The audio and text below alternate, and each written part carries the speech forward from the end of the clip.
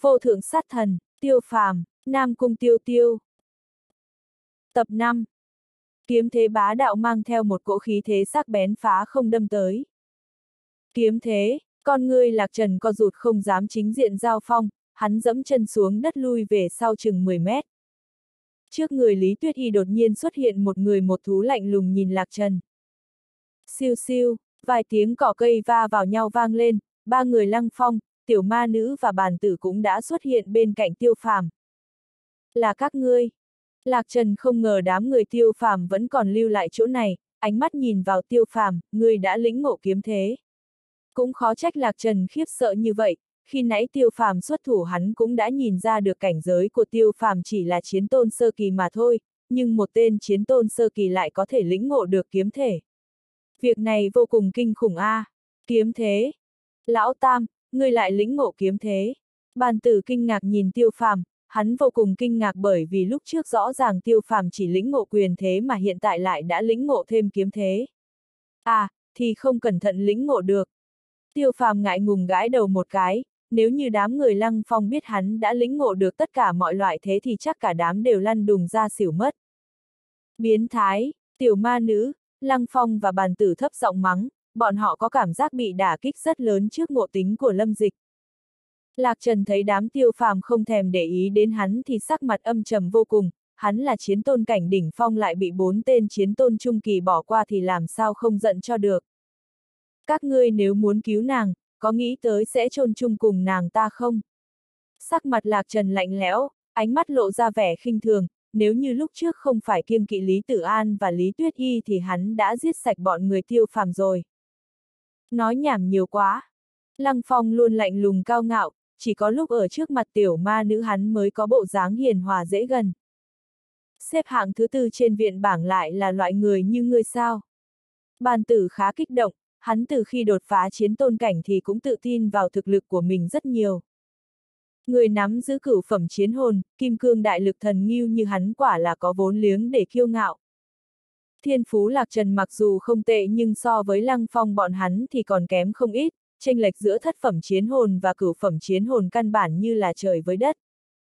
Tiêu phàm thập phần bình tĩnh, Lạc Trần cường đại hơn Lạc Phi và địch hàn rất nhiều nên hắn phải gấp rút tính toán kế hoạch.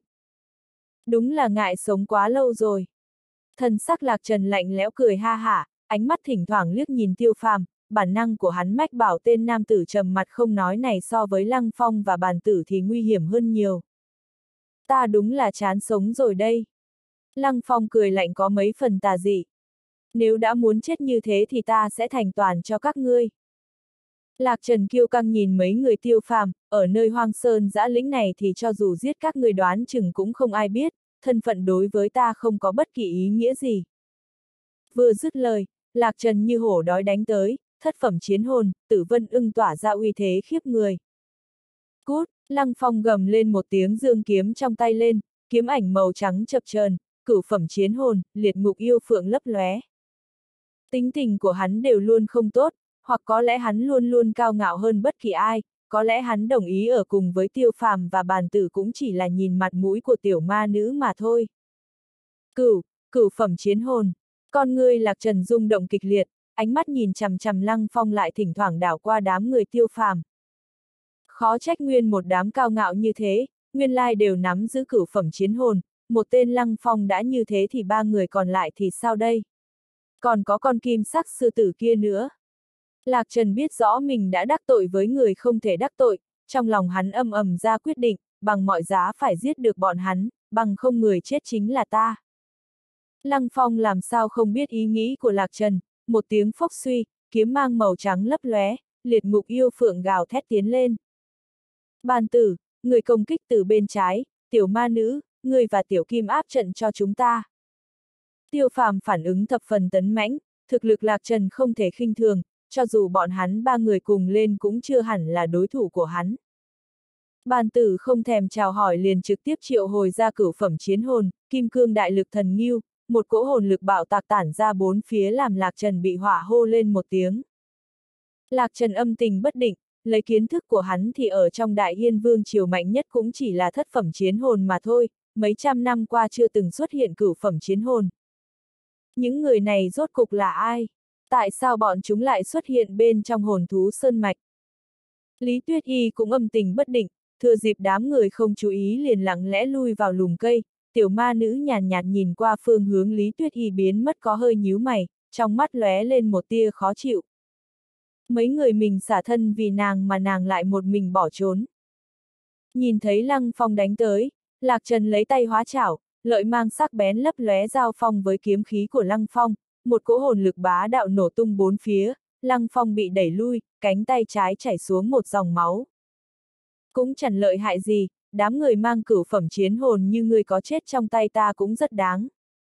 Lạc Trần lạnh giọng nói, trên mặt xuất hiện nụ cười tàn nhẫn.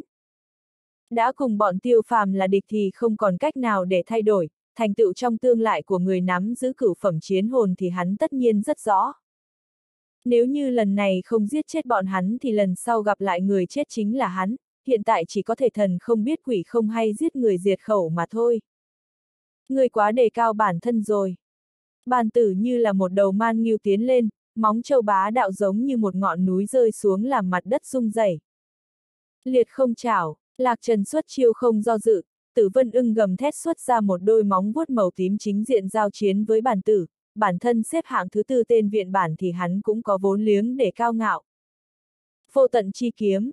Cũng đúng lúc này, một cỗ hàn khí từ phía sau lạc trần lặng yên dâng lên, một đạo kiếm khí màu vàng óng chẳng biết lúc nào xuất hiện ở phía sau lạc trần. Lạc trần nổi ra gà một cái, cho dù hắn tự tin thế nào cũng không dám lơ là phía sau.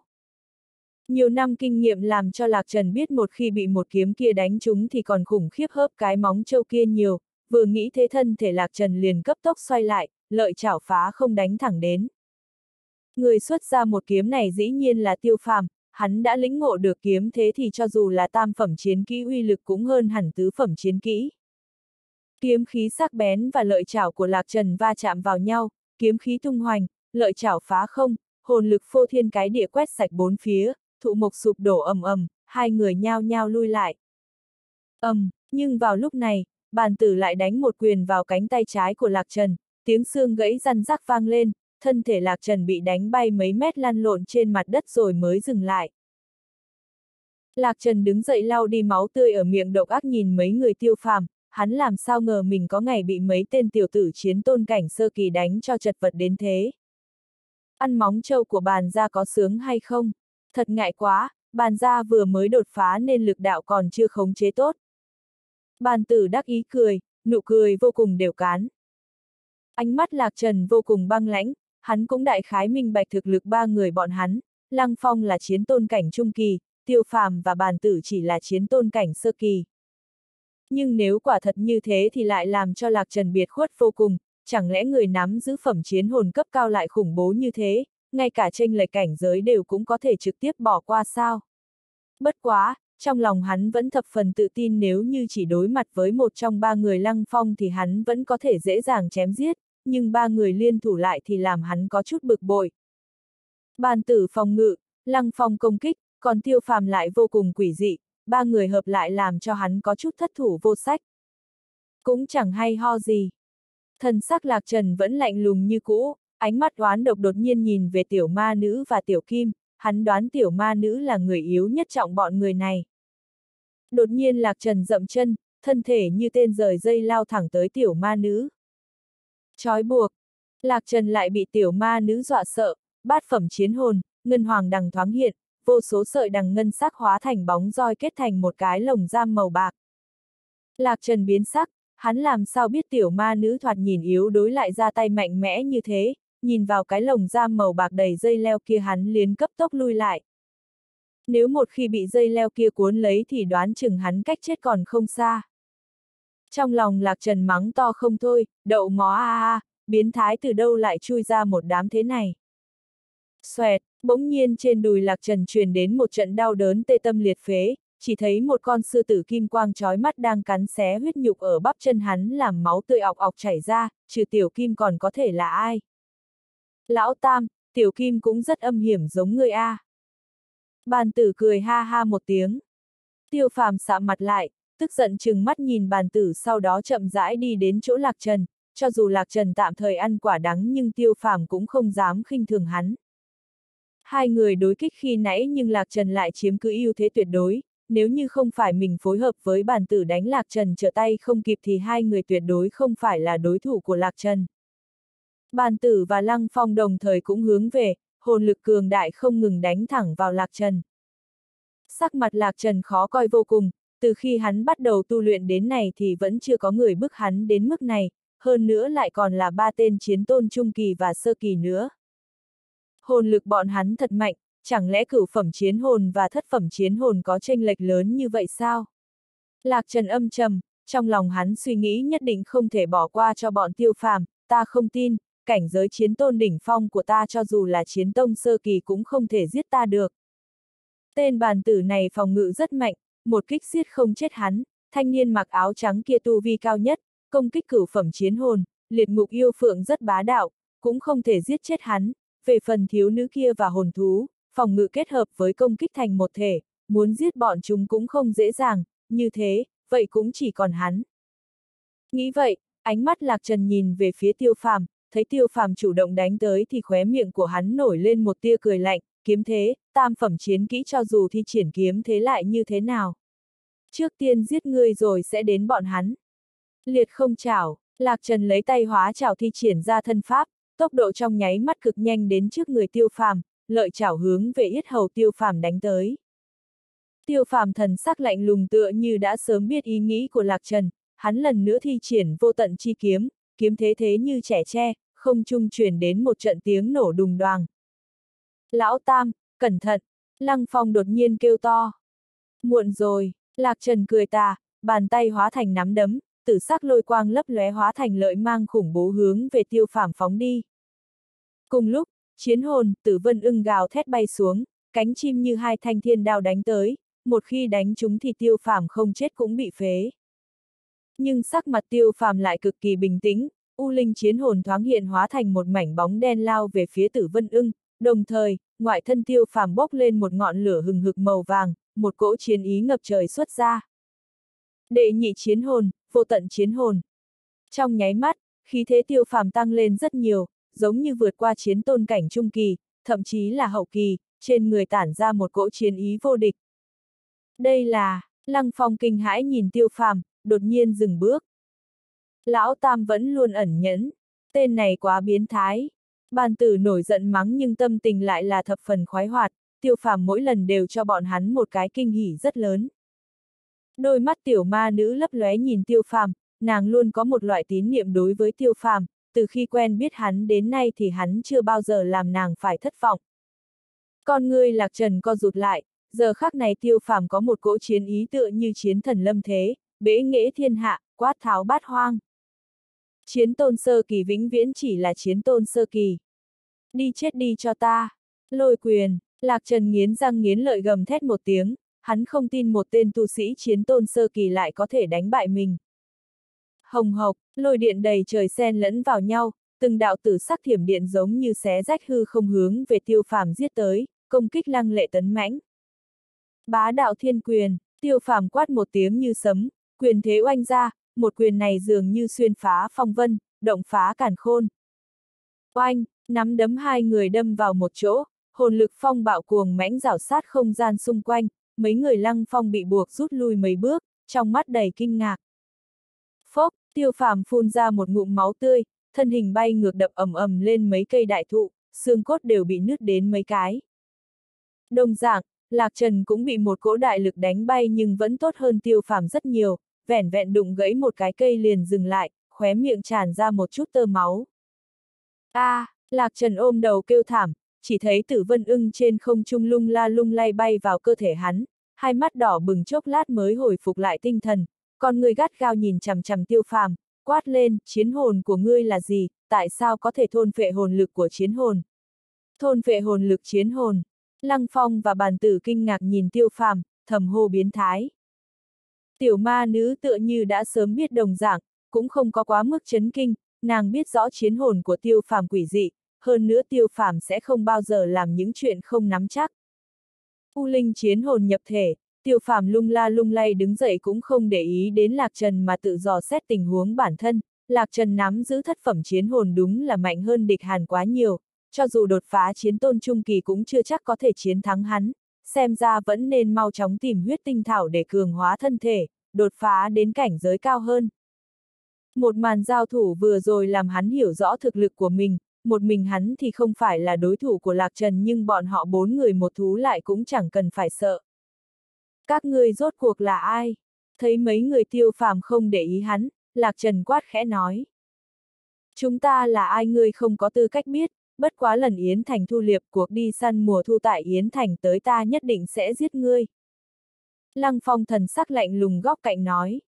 Yến Thành thu liệp, hai mắt Lạc Trần khẽ híp một cái, giữ tợn cười nói, nguyên lai các ngươi là người của chiến vương học viện, tốt, rất tốt, hai tháng sau chính là Yến Thành thu liệp, hôm nay không giết các ngươi, lần sau bốn người các ngươi ắt hẳn phải chết. Vừa dứt lời, Lạc Trần hung hăng nhìn chằm chằm đám người tiêu phàm giống như muốn ghi nhớ rõ khuôn mặt của từng người, sau ba hơi thở liền quay người biến mất bên trong tùng lâm. Chạy rồi, bàn tử nhìn Lạc Trần rời đi không khỏi khinh thường gắt một câu. Đường đường cường giả chiến tôn cảnh đỉnh phong, đệ tứ cường giả viện bảng vậy mà bị dọa chạy, điều này làm cho đánh giá của bọn tiêu phàm đối với Lạc Trần tuột dốc không phanh. Lạc Trần còn tệ hại hơn cả đệ đệ Lạc Phi của hắn, hiếp yếu sợ mạnh, nhân phẩm đê tiện, làm người âm hiểm, đáng chết. Ánh mắt Lăng Phong băng lãnh nhìn nơi Lạc Trần biến mất. Tiêu phàm nhìn Lăng Phong một chút, trong mắt lóe lên vẻ khác lạ, trong lòng thầm nói, Lăng Phong mỗi lần xuất thủ đều lộ ra sát cơ, cùng với lúc thường cứ như hai người khác nhau, đây là xảy ra việc gì? Tiêu phàm nghĩ không ra, cũng không thể hỏi nên đành giấu việc này ở trong lòng. Về phần lạc trần, tiêu phàm căn bản không có để ở trong lòng, hắn đến thế giới này được mấy tháng cũng biết được ở đây rất tàn khốc, sau này gặp lại thì cứ thoải mái chém giết một phen. Việc quan trọng nhất hiện tại là tăng thực lực của bản thân lên, chỉ có bản thân đủ cường đại mới có thể ngăn cản toàn bộ địch nhân. Mà tiêu phàm cũng không chân chính Sam Lạc Trần là đối thủ của mình. Đi thôi, trước tìm huyết tinh thảo đã. Tiêu phàm trầm tĩnh dẫn đầu tiến vào bên trong hồn thú sơn mạch. Cùng lúc này, Tôn Đình mang theo hai người dừng lại trên một vách núi quan sát bốn phía tìm kiếm tung tích bọn tiêu phàm. Gia chủ, bọn tiêu phàm hình như không có đến đây, nếu không lấy tốc độ của chúng ta thì đã đuổi kịp rồi. Một tên nam tử tôn ra mở miệng. Tôn Đình gật gật đầu, nói, hai người các ngươi lưu ở chỗ này, không cho bất luận kẻ nào tiến đến. Vâng, gia chủ. Hai người cung kính gật đầu, Tôn Đình đột nhiên biến mất tại chỗ tiếp tục tìm kiếm tung tích bọn tiêu phàm. Hồn thú sơn mạch mặc dù rộng lớn nhưng cũng là thời cơ tốt nhất để giết chết bọn tiêu phàm, nếu giết bọn hắn ở đây thì thần phong học viện cũng không nói được gì, Tôn Đình làm sao có thể bỏ qua một cơ hội tốt như thế này. Chỉ là bọn tiêu phàm đã xuất hiện bên trong một mảng núi rừng khác, sau khi đi đường một ngày thì bọn họ đã đi sâu vào thêm mấy trăm dặm, ở đây lúc nào cũng có thể gặp được tứ giai hồn thú. Đám tiêu phàm không thể không tránh tứ giai hồn thú ra thật xa, thực lực bọn hắn mặc dù không yếu, hồn thú tứ giai hậu kỳ trở xuống thì không sao nhưng đối mặt tứ giai đỉnh phong hồn thú thì bọn hắn cũng phải kính nhi viễn chi. Nếu so sánh với nhân loại mà nói thì một đầu tứ giai hồn thú đỉnh phong thì càng lợi hại hơn tên Lạc Trần lúc trước rất nhiều. Lão Tam, rốt cục ngươi muốn đi đâu tìm huyết tinh thảo. Bàn tử cẩn thận từng ly từng tí nhìn bốn phía xung quanh, trong lòng có chút khẩn trương nói. Dựa theo địa đồ của Trầm Bá thì át hẳn là xung quanh khu vực này. Tiêu phàm lấy ra một bản vẽ nhìn nhìn. Nơi này khắp nơi đều là tứ giai hồn thú, huyết tinh thảo chính là ngũ phẩm linh thảo, đoán chừng có hồn thú thủ hộ, muốn lấy được cũng vô cùng khó đây. Lăng Phong phân tích nói, con người không ngừng di chuyển cảnh giác bốn phía. Ngừng, đột nhiên tiêu phàm hô lên một tiếng, bốn người một thú vội vàng dừng bước, chiến hồn của tiêu phàm cực kỳ mẫn cảm với ba động linh khí. Tiêu phàm lập tức phóng xuất hồn lực ra, sau một lát, trên mặt lộ ra tiếu dung, nói, vận khí không tệ, phía trước 300 mét có lẽ có huyết tinh thảo. Vậy còn đứng đây làm gì? Tiểu ma nữ cao hứng bừng bừng nói, lần này bất chấp nguy hiểm đi tới hồn thú sơn mạch không phải là vì là huyết tinh thảo sao. Nhưng có một tin xấu. Tiêu phàm cười khổ một tiếng, nói, phía trước có một con hỏa tình điêu, hơn nữa hình như còn đang chú ý đến chúng ta. Mấy người lăng phong nghe vậy thần sắc cứng đờ, hỏa tình điêu là ngũ giai hồn thú, là tồn tại chiến tông đỉnh phong, bọn họ làm sao mà địch lại. Vậy làm sao bây giờ? Tiểu ma nữ lo lắng nói, huyết tinh thảo đã ở ngay trước mắt chẳng lẽ phải tay không trở về, như vậy thì lần vào hồn thú sơn mạch này có ý nghĩa gì nữa? Thần sắc hai người lăng phong và bàn tử nản trí, bàn tử không cam lòng thầm nghĩ, lão tam, luyện thể dịch kia nhất định phải cần huyết tinh thảo sao? Nếu như không có chủ dược huyết tinh thảo thì hiệu quả chỉ còn một phần mười. Tiêu phàm gật gật đầu, hắn nhìn xung quanh, trong đầu cấp tốc suy nghĩ. Audio điện tử võ tấn bền. Làm cho mọi người thở phào chính là hỏa tình điêu cũng không có chủ động công kích bọn hắn, nó chỉ dùng hồn lực tập trung vào bọn hắn để đề phòng mà thôi. Một khi bọn hắn tiếp tục tới gần thì hỏa tình điêu nhất định sẽ công kích bọn hắn. Nếu như thực lực con hỏa tình điêu này chỉ là chiến tôn cảnh thì có lẽ ta còn có thể dẫn dụ nó rời đi tạo cơ hội cho các ngươi. Lăng phong cau mày, tay phải vuốt cầm suy nghĩ nói. Tiêu phàm lắc đầu, đi khiêu chiến kiên nhẫn của một đầu ngũ giai hồn thú là sự tình vô cùng ngu ngốc, mượn dùng kiếp trước một câu thì chính là muốn tự tìm chết. Dù sao ngũ giai hồn thú trưởng thành đã tương đương với võ tu chiến tông cảnh nhân loại, con hỏa tình điêu này tại bên trong ngũ giai hồn thú chắc cũng thuộc loại tương đối lợi hại, lại thêm nắm giữ năng lực phi hành nên cực kỳ khó chơi. Có lẽ còn một biện pháp. Tiêu phàm phóng thích hồn lực ra lập tức phát hiện bốn phía có không ít tứ giai hồn thú, một ý niệm lóe qua trong đầu, nói, nơi đây có không ít tứ giai hồn thú, nếu như có thể làm bọn chúng bạo động thì ta có thể thừa cơ hội lấy huyết tinh thảo. Thế nhưng làm sao để tứ giai hồn thú bạo động đây? Bàn tử sờ cái mũi, tặc nghi tử nhãn liên tục chấp động. Ta có biện pháp. Tiêu phàm cười cười, hồn giới lóe lên, trong tay đột nhiên xuất hiện một cái bình ngọc, hắn mở bình ngọc ra thì ngay lập tức có một cỗ mùi thơm nồng đậm tỏa ra. Thơm quá, đây là cái gì? Tiểu ma nữ kinh ngạc nhìn bình ngọc, lăng phong và bàn tử cũng lộ ra vẻ cổ quái, tiêu phàm luôn làm ra một chút đồ vật cổ quái kỳ lạ. Mê hồn dịch, bên trong ẩn chứa một loại mùi thơm mà hồn thú thích nhất, có thể làm cho hồn thú phát cuồng. Tiêu phàm sau khi giải thích liền cười tủm tỉm nhìn bàn tử, lão nhị, nhiệm vụ này liền giao cho ngươi, người đem mê hồn dịch này đi đến cách chỗ hỏa tình điêu 100 mét đi. Bàn tử như bị dẫm vào đuôi, hắn giống to lên, lão tam, ngươi thật không có nghĩa khí, muốn ta làm khiên thịt thì ta tuyệt đối nghĩa bất dung tử nhưng tốc độ không phải là ưu điểm của ta. Ta đi. Lăng Phong tiếp nhận mê hồn dịch trong tay tiêu phàm, hắn nhìn về phía mập mạp nói, nhớ kỹ, về sau ngươi chính là khiên thịt. Cũng không đợi bàn tử phản ứng, Lăng Phong thi triển thân pháp biến mất trong rừng. Giờ phút này, tại một chỗ cách đó hơn trăm mét có hai thân ảnh đang ẩn nấp, ánh mắt sáng quắc nhìn chằm chằm hỏa tình điêu, không, nói chính xác là nhìn chằm chằm vài cọng thảo dược màu đỏ cách hỏa tình điêu không xa, đám thảo dược màu đỏ kia chính là huyết tinh thảo mà đám tiêu phàm đang hao tâm tìm kiếm. Nếu như tiêu phàm ở đây nhất định sẽ nhận ra bọn hắn, hai người chính là Hoàng Thiên Thần và Tiêu U, bọn họ cũng vì huyết tinh thảo mà đến. Phu quân, đã qua một ngày một đêm, hỏa tình điêu này còn không rời đi, làm sao bây giờ? Tiêu U lo lắng nhìn phía xa. Vô luận như thế nào thì ta nhất định phải lấy được huyết tinh thảo, Yến Thành Thu Liệp sắp đến, ta muốn mau chóng đột phá chiến tôn đỉnh phong để giết đám tiêu phàm kia. Ánh mắt Hoàng Thiên Thần lộ ra một tia tàn nhẫn. Hắn tu luyện mười mấy năm đều không có ai dám đối xử với hắn như thế, mà tiêu phàm lại nhiều lần để hắn ăn quả đắng, Hoàng Thiên Thần đã sớm hận tiêu phàm đến tận xương. Lấy thiên phú của phu quân thì vẫn có thể nhận được tài nguyên tu luyện của gia tộc mà, tại sao phải liều mạng như thế? Tiêu U nghi hoặc nhìn Hoàng Thiên Thần. Đây là quy củ gia tộc chúng ta, trước khi đột phá chiến tông cảnh thì không thể lợi dụng tài nguyên của gia tộc quá nhiều, phụ thân ta tuy là gia chủ nhưng hoàng gia cũng không phải là một thể hoàn chỉnh. Hoàng thiên thần lắc đầu, sinh ở đại gia tộc liền phải chịu trói buộc của đại gia tộc, mục tiêu của hắn là gia chủ hoàng gia nên cũng không thể để cho người khác nắm được điểm yếu của mình. Chỉ cần lấy được huyết tinh thảo, phu quân nhất định có thể đột phá chiến tôn cảnh đỉnh phong, thậm chí bước vào chiến tông cảnh. Tiêu U kiên định không thay đổi nhìn Hoàng Thiên Thần nói. Có người. Hoàng Thiên Thần đột nhiên che miệng Tiêu U, làm một cái thủ thế chớ lên tiếng. Lăng Phong lặng yên không tiếng động tiến lên vị trí gần hỏa tình điêu, thân pháp cực kỳ tinh diệu xuyên qua từng cây cổ thụ, tay phải hất lên, mê hồn dịch trong tay bắn ra. Lăng Phong dẫm nhẹ một cái cấp tốc lui về phía sau. Cứu, một tiếng kêu to vang vọng thương khung, hỏa tình điêu nhìn thấy có nhân loại khiêu khích nó liền lập tức vỗ cánh bay lên, từ trong miệng nó phun ra một đạo huyết sắc hỏa quang. Trong rừng lập tức biến thành một biển lửa, thanh âm lốp bốp rung động, biển lửa bắt đầu lan ra bốn phương tám hướng, mấy cây đại thụ trong chớp mắt bị cháy thành cho bụi, ánh lửa bất diệt. Mấy người tiêu phàm ngẩng đầu lên thấy lăng phong đang chật vật bay tới, trên đầu bọn họ có một con hỏa tình điêu to lớn đang vỗ cánh đứng tại chỗ, đôi mắt như lửa lập lòe giống như đang quan sát con mồi.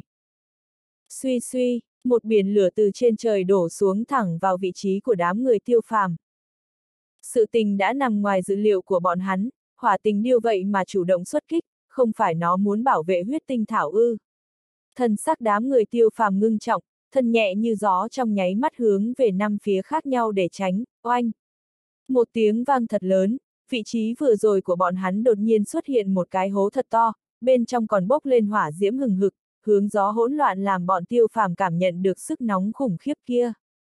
Chiến tôn đỉnh phong, mấy người tiêu phàm nhẹ thở phào, hỏa tình điêu chiến tôn cảnh đỉnh phong tuy rất khó chơi nhưng lại không đem tới cảm giác tuyệt vọng như chiến tông cảnh.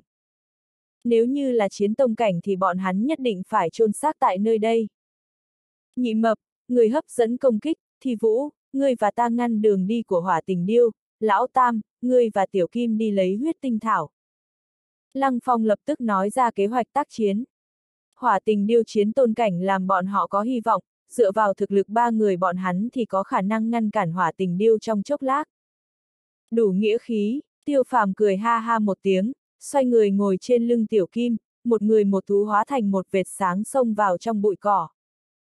Xem như ngươi lợi hại. Bàn tử chửi nhỏ một tiếng, lập tức xuất ra chiến hồn, kim cương đại lực thần nghiêu, hắn đánh nát một tảng đá lớn sau đó lấy đá vụn ném vào hỏa tình điêu. Nắm giữ kim cương đại lực thần nghiêu, lực lớn như châu, toái thạch trong tay hắn như là như đạn pháo, tốc độ vượt qua cả vận tốc âm thanh bắn tới. Hỏa tình điêu triệt để tức giận, nó há mồn phun ra từng đợt mũi tên lửa bắn xuống, bàn tử bị dọa đến sắc mặt trắng bệch chạy vào trong rừng. ầm, um, một tiếng vang thật lớn, bàn tử bị hỏa diễm khí lãng đánh bay nện lên một gốc cố thụ, toàn thân thịt mỡ đau nhức, thân pháp không phải sở trường của hắn nên không thể tránh thoát được công kích của hỏa tình điêu. Nhiệt xúc, đến đây. Bàn tử hét lên giận dữ, toái thạch trong tay lần nữa ném ra. Hỏa tình điêu thấy hắn khiêu khích tiếp thì hung quang đại thịnh, hỏa diễm điên cuồng lại phun ra. Lão đại, ta chịu không nổi. Bàn tử giống lên quái dị, hắn xoay người chạy nhưng hỏa tình điêu đã khóa mục tiêu là hắn thì nó làm sao có thể buông tha, vì thế nó không chút do dự truy sát theo nhị mập. Nhiệt xúc, bên này. Lăng phong thì triển thân pháp chiến kỹ cũng bắt đầu ném đá, tảng đá mang theo hắc sắc hỏa diễm cực kỳ có uy lực. Hỏa tình điêu thấy phía sau có công kích liền giang hai cánh ra tránh thoát toàn bộ công kích, nó bay quanh không trung phát ra một tiếng kêu to, ánh mắt tập trung nhìn vào vị trí huyết tinh thảo. Không tốt, nó phát hiện đồ lưu manh. Tiểu ma nữ kêu to, thân hình nàng nháy lên một cái đã nhảy lên một cây đại thụ, ngân hoàng đằng kết thành một tấm lưới chụp thẳng vào hỏa tình điêu. Cùng lúc, phía sau lăng phong đột nhiên hiện ra một đôi cánh màu đen mờ ảo, đôi cánh vỗ một cái liền đem thân hình hắn bay lên, hắn có cửu phẩm chiến hồn, liệt ngục yêu phượng thì đã sớm có được năng lực phi hành nhưng đổi lại cần phải tiêu hao một lượng lớn hồn lực. Yêu phượng hỏa liên, theo một tiếng quát nhẹ của lăng phong, vô số hắc sắc hỏa diễm nở rộ trong hư không sau đó như thiên thạch bắn về hướng hỏa tình điêu. Hỏa tình điêu bị mấy đóa hỏa liên đánh chúng kêu to, thân hình bay ngược ra mười mấy mét bốc lên một mùi thịt khét. Mạnh như vậy. Bàn tử đang nấp ở trên một cây cổ thụ không xa kinh ngạc nhìn, thực lực lăng phong vượt qua hắn tưởng tượng, chẳng những có thể phi hành mà trên không còn có thể đánh bay hỏa tình điêu. Nhị mập, công kích nó. Thân hình lăng phong rơi vào ngọn một gốc cổ thụ, hắn hét lớn về phía bàn tử. Bàn tử bất đắc dĩ đành phải tiếp tục hấp dẫn hỏa lực của hỏa tình điêu để yểm trợ cho tiêu phàm. Mà tiêu phàm trên lưng tiểu kim cũng đã đến gần khoảng 200 thước, một gốc thảo dược màu đỏ rực đang lấp ánh quang mang màu đỏ rực ở phương xa.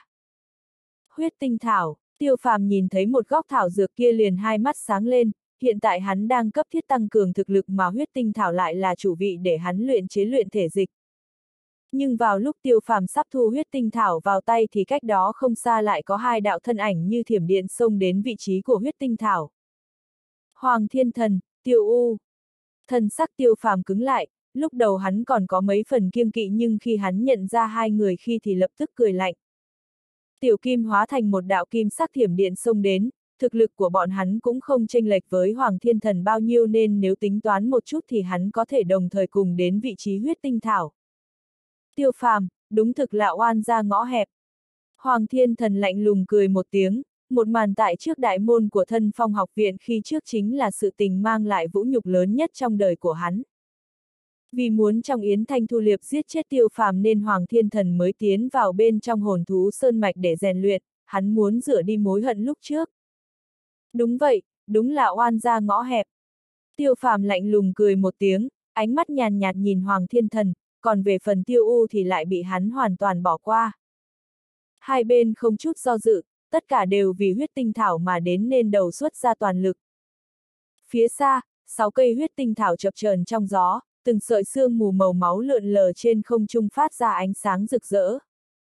Mắt thấy hai bên càng lúc càng đến gần huyết tinh thảo, ánh mắt Hoàng Thiên Thần càng ngày càng đỏ giống như một con thú khát máu.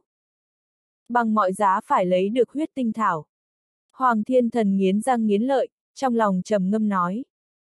10 mét, 8 mét, 5 mét, 2 mét, khoảng cách huyết tinh thảo đều đã có thế với tay lấy, cũng đúng lúc này, khóe miệng Hoàng Thiên Thần đột nhiên xuất hiện một nụ cười âm hiểm, hắn xuất một trưởng đánh vào phía sau lưng của Tiêu U. Phu quân, ngươi, Tiêu U biến sắc, nàng không thể ngờ Hoàng Thiên Thần lại xuất thủ với mình. Ta đối với ngươi cũng coi như hết lòng quan tâm giúp đỡ, lần này đến lượt ngươi giúp ta. Hoàng Thiên Thần giữ tợn cười một tiếng, bàn tay dùng sức đẩy Tiêu U xông thẳng vào Tiêu Phàm. Mà Hoàng Thiên Thần đã đặt toàn bộ tâm trí lên huyết tinh thảo, trong mắt lóe lên quang mang nóng bỏng. Hoàng Thiên Thần đánh lén Tiêu U, mượn nhờ thân thể Tiêu U để công kích Tiêu Phàm, việc này tuy Tiêu U chưa từng nghĩ đến nhưng không phải Tiêu Phàm không nghĩ đến. Hắn đã sớm biết cách làm người của Hoàng Thiên Thân, người này âm hiểm độc ác, bụng dạ cực sâu, cho nên Tiêu Phàm vẫn luôn phòng bị hắn. Khi khoảng cách huyết tinh thảo chỉ còn 2 mét, Tiêu Phàm đột nhiên thi triển mê tung bộ tăng tốc độ tới cực hạn, hắn biến mất tại chỗ sau đó đã xuất hiện tại vị trí của huyết tinh thảo. Hắn vung tay một cái thì toàn bộ sáu cây huyết tinh thảo đều bị hắn thu vào bên trong hồn giới. Hỗn trướng, huyết tinh thảo là của ta. Hoàng thiên thần phẫn nộ gào thét, huyết tinh thảo đã đến tay lại bị tiêu phàm đoạt mất hỏi sao hắn không giận. Chỉ cần lấy được huyết tinh thảo thì hắn có thể đột phá chiến tôn đỉnh phong, thậm chí là chiến tông chi cảnh, Yến Thản thu liệp hai tháng sau nhận định sẽ có thành tích sáng chói. Đáng tiếc, cuộc đời không như mong muốn. Đồ trong tay ta chính là của ta. Tiêu phàm lạnh lùng cười một tiếng, lách mình nhảy vào trên lưng tiểu kim, tiểu kim cấp tốc chạy vào trong rừng. Đứng lại cho ta. Hoàng thiên thần gầm thét, sau lưng hắn xuất hiện lục phẩm chiến hồn, song rực ngân sư dương nhanh múa vuốt hướng tiêu phàm đánh tới. Tiêu phàm nhìn thấy miệng máu to lớn đang cắn về phía mình liền xoay người né sang một bên, thân nhẹ như yến xuất ra u linh chiến hồn hóa thành một đoàn mây mù màu đen nhào về phía chiến hồn, song dực ngân sư. Sau khi nhẹ nhàng tránh được công kích của song dực ngân sư thì thân ảnh của tiêu phàm cũng đã xuất hiện ở bên cạnh Hoàng Thiên Thần. Hoàng Thiên Thần không nghĩ tới tiêu phàm sẽ chủ động công kích, khóe miệng cười lạnh một cái, khí thế tăng lên, trong tay phóng ra kim sắc quang mang kết thành một cái thủ ấn. Đi chết đi, Hoàng Thiên Thần dồn hết tất cả phẫn nộ của mình thành sức mạnh, kim sắc thủ ấn bộc phát uy thế ngập trời đánh lên trên đỉnh đầu của tiêu phàm. Thần sắc tiêu phàm cứng lại, hắn cảm nhận được uy lực mà cái thủ ấn này mang đến, đây tuyệt đối là ngũ phẩm chiến kỹ, hắn không dám khinh thường, toàn thân thiêu đốt kim sắc khí diễm. Mặc dù tiêu phàm tại chiến sư đỉnh phong chém giết qua chiến tôn trung kỳ nhưng hiện tại đột phá đến chiến tôn sơ kỳ đối mặt hoàng thiên thần chiến tôn hậu kỳ, hắn lại cảm nhận được một cỗ khí tức nguy hiểm. Điều này chứng minh cho việc Hoàng Thiên Thần ẩn tàng thật sâu, cho dù là chiến tôn đỉnh phong phổ thông cũng không phải là đối thủ của hắn. Nghĩ vậy, tiêu phàm lập tức thi triển ra ngũ phẩm chiến kỹ, bá đạo thiên quyền, thủ ấn cùng nắm đấm đột nhiên đâm vào cùng một chỗ, khí lãng hung mãnh xông thẳng ra bốn phía. Cổ thụ sụp đổ, toái thạch bay tứ tung, hai người cấp tốc thối lui về sau, toàn thân tiêu phàm chấn động, khóe miệng tràn ra một tia máu tươi. Thật mạnh! Trong lòng tiêu phàm cảm giác nặng nề, hắn lúc này phát hiện mình đánh giá thực lực của Hoàng Thiên Thần quá thấp, lập trước có thể đánh bay hắn cũng là do lúc đó hắn có sơ hở mà thôi. Hơn nữa, thực lực Hoàng Thiên Thần những ngày qua lại tăng thêm. Đây là toàn bộ thực lực của ngươi. Nếu chỉ có một chút thực lực này thì ngươi có thể đi chết được rồi. Hoàng Thiên Thần cười lạnh, thực lực của hắn mấy ngày qua đã tăng lên một mảng lớn, một kích vừa rồi thăm dò được thực lực của tiêu phàm làm cho hắn tự tin lên rất nhiều. Tiêu phàm híp hai mắt, hắn cảm nhận dược Hoàng Thiên Thần đã động sát tâm, muốn giết bằng được ta sao? Chưa chắc. Tiêu phàm lạnh lùng cười một tiếng, chân đạp mê tung bộ biến mất tại chỗ, hồn lực ngưng tụ thành một chuôi trường kiếm gào thét đâm ra, một cỗ khí thế bá đạo quét tới. Kiếm thế, trên mặt Hoàng Thiên Thần lộ ra vẻ kinh ngạc, tiêu phàm chỉ là chiến tôn cảnh sơ kỳ làm sao lại lĩnh ngộ được kiếm thế. Tiêu phàm không nói, thần sắc trên mặt hắn hiện tại vô cùng sắc bén lạnh lùng, vô tận chi kiếm chém giết tất cả, khí thế khủng bố sắc bén đâm vào trên Hoàng Thiên Thần. Nói thì chậm nhưng khi đó thì nhanh, Hoàng Thiên Thần nghiêng người tránh thoát vô tận chi kiếm, một vết kiếm sượt qua mặt hắn lưu lại một đường máu thật dài. Giết, Hoàng Thiên Thần nổi giận, thân hình dũng mãnh, trong tay xuất hiện một thanh trường thương, đầu thương lóe lên hàn quang đâm thẳng vào đan điền của tiêu phàm. Mắt thấy trường thương đã đâm vào cơ thể của tiêu phàm, nhưng đột nhiên thân thể tiêu phàm lại vặn vẹo trở thành một đạo tàn ảnh, một tiếng gió lạnh thổi qua làm Hoàng Thiên Thần lạnh thấu xương, hắn cảm thấy cánh tay mát lạnh, máu tươi như suối phun ra ngoài. Cánh tay Hoàng Thiên Thần hoàn toàn xuất hiện một vết thương vô cùng khủng bố, thậm chí còn thấy được cả xương trắng bên trong. Sắc mặt tiêu u trắng bệch kinh ngạc nhìn tiêu phàm, nàng không ngờ tiêu phàm lại trưởng thành nhanh như vậy, hiện tại chưa qua bao lâu mà Hoàng Thiên Thần đã không phải là đối thủ của hắn. Hai chiêu, vẻn vẹn hai chiêu liền đánh bại Hoàng Thiên Thần. Nếu không phải nàng tận mắt chứng kiến thì nàng còn tưởng rằng mình đang nằm mơ. Hoàng Thiên Thần che vết thương đang chảy máu tí tách, mặt lộ vẻ dữ tợn nhìn tiêu phàm, hắn lại một lần nữa coi thường tiêu phàm, sau khi tiêu phàm đột phá lên cảnh giới chiến tôn liền kinh khủng như thế. Hôm nay tha cho ngươi một mạng, sau này nhất định sẽ gặp lại. Âm thanh Hoàng Thiên Thần lạnh lùng, hắn quay người chuẩn bị chạy vào trong rừng. Giống, một tiếng sư hống từ trong rừng truyền ra, ngay sau đó, thân thể Hoàng Thiên Thần chậm rãi rút lui trở về, mồ hôi trên trán lớn chừng hạt đậu lăn xuống. Phía trước hắn, Tiểu Kim đang nhe răng giữ tợn nhìn chằm chằm, chỉ cần Hoàng Thiên Thần dám lên trước một bước thì nó sẽ lập tức xé Hoàng Thiên Thần ra từng mảnh. Hôm nay ngươi không giết ta, nhưng ta vẫn đứng ở đây chờ ngươi đến giết ta đấy. Thần sắc tiêu phàm băng lãnh nhìn chằm chằm Hoàng Thiên Thần, Hoàng Thiên Thần tự phụ làm cho hắn rất khó chịu, giống như bản thân có thể còn sống là do hắn ban cho không bằng. Một tên bại tướng mà thôi, tiêu phàm cũng chẳng thèm để ý, hai sợi tinh quang từ trong mắt tiêu phàm lóe lên làm cho Hoàng Thiên Thần hoảng sợ, hắn thấy tiêu phàm đã động sát tâm rồi. Tiêu phàm, huyết tinh thảo ngươi đã lấy được, việc hôm nay coi như bỏ qua đi. Chẳng biết tại sao khi Hoàng Thiên Thần nhìn vào mắt tiêu phàm thì trong lòng lại dâng lên sự hoảng sợ, một màn địch hàn bị chém kia vẫn còn in sâu trong tâm trí hắn. Tiêu phàm không nói, hắn đi từng bước tiến về Hoàng Thiên Thần, Hoàng Thiên Thần không ngừng lùi lại, sắc mặt trắng bệch sốt ruột uy hiếp, ngươi không thể giết ta, cho dù ta chết thì tiêu gia của ngươi cũng phải chôn cùng. Đối với tiêu phàm mà nói thì loại uy hiếp này chẳng có một tí tác dụng nào với hắn, hiện tại cánh tay trái của Hoàng Thiên Thần đã bị phế, hiện tại không giết hắn thì còn chờ đến lúc nào. Nhìn thấy tiêu phàm khó chơi như thế, Hoàng Thiên Thần bắt đầu lo lắng, hiện tại hắn không phải là đối thủ của tiêu phàm, ngoài ra còn có một đầu tứ giai hồn thú nên hắn muốn chạy cũng không thể. Cuối cùng, Hoàng Thiên Thần đành phải đưa ánh mắt chuyển hướng qua tiêu U, khẩn cầu U Nhi. Đáng tiếc, lời còn chưa dứt liền bị tiêu U cắt ngang, Hoàng Thiên Thần, tiêu U ta không phụ ngươi, một trưởng hôm nay coi như trả hết nhân tình cho ngươi, sau này không gặp lại. Tiêu U để lại một câu nói liền biến mất bên trong rừng rậm, sắc mặt Hoàng Thiên Thần cứng đờ, trong lúc thất thần liền tạo cơ hội cho Tiêu Phàm và Tiểu Kim, một người một thú hóa thành hai đạo lưu quang phi đến bên cạnh Hoàng Thiên Thần, xoẹt xoẹt, hai tay đều bay lên không trung. Một tiếng thét như heo bị chọc tiết vang lên, Hoàng Thiên Thần ngã xuống đất, mặt lộ vẻ sợ hãi nhìn Tiêu Phàm, Tiêu Phàm, ngươi không thể giết ta, nếu ta chết thì Tiêu ra ngươi nhất định sẽ bị diệt tộc. Lúc này vẫn còn uy hiếp ta, có phải hơi dư thừa rồi không? Tiêu phàm nghiền ngẫm nhìn Hoàng Thiên Thần, đừng nói hắn hiện tại cùng tiêu gia sớm đã không có bất cứ quan hệ nào, cho dù có thì đã làm sao. Lão Tam, đi mau. Đúng lúc này, một đạo thân ảnh xuất hiện, chỉ thấy Lăng Phong, bàn tử và tiểu ma nữ đang nhanh chóng chạy tới, bộ dáng thập phần chật vật. Hoàng Thiên Thần, bàn tử kinh ngạc nhìn Hoàng Thiên Thần đang bị cụt hai tay, một mặt cổ quái nói, lão tam, người phế hắn. Lăng Phong cau mày một cái cũng không nói gì, ánh mắt tiểu ma nữ lấp lóe tùy ý tiêu phàm làm chủ, bọn hắn biết Hoàng Thiên Thần đã nhiều lần làm khó tiêu phàm.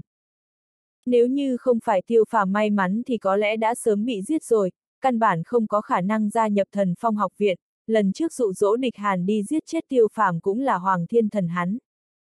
Giết hay không, nhìn Hoàng Thiên Thần lăn lộn trên mặt đất, trong lòng tiêu phàm có chút dầu gì, hắn biết hậu quả khi giết chết Hoàng Thiên Thần.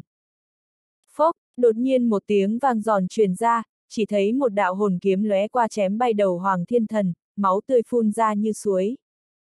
Giết hay không? Giết!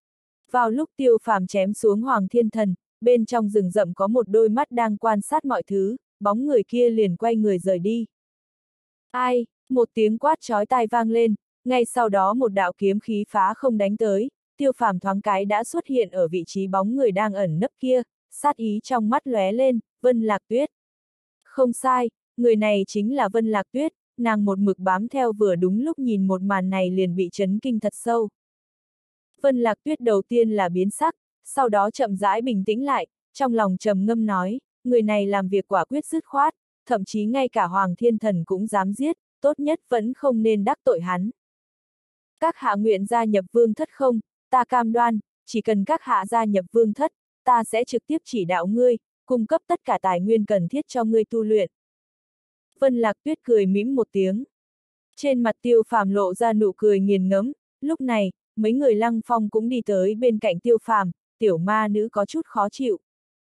Tự mình chỉ đạo, tiêu phàm bị Vân Lạc Tuyết chọc cười, một tên chiến tôn cảnh đỉnh phong có lẽ quả thật có tư cách chỉ đạo chiến tôn cảnh sơ kỳ nhưng việc này không bao gồm tiêu phàm. Không sai, ta có thể tự mình chỉ đạo ngươi, hơn nữa hai chúng ta còn có thể tiếp xúc nhiều hơn. Vân Lạc Tuyết cười nói, nàng thập phần tự tin lay động sợi tóc để cho người ta khó mà cự tuyệt. Để cho ta gia nhập vương thất, sau đó làm nô tài cho ngươi. Vì vương thất hiệu lực, tiêu phàm cười cười. Vương thất là đệ nhất thế lực ở Đại Yên Vương Triều, vì vương thất hiệu lực có gì không thể.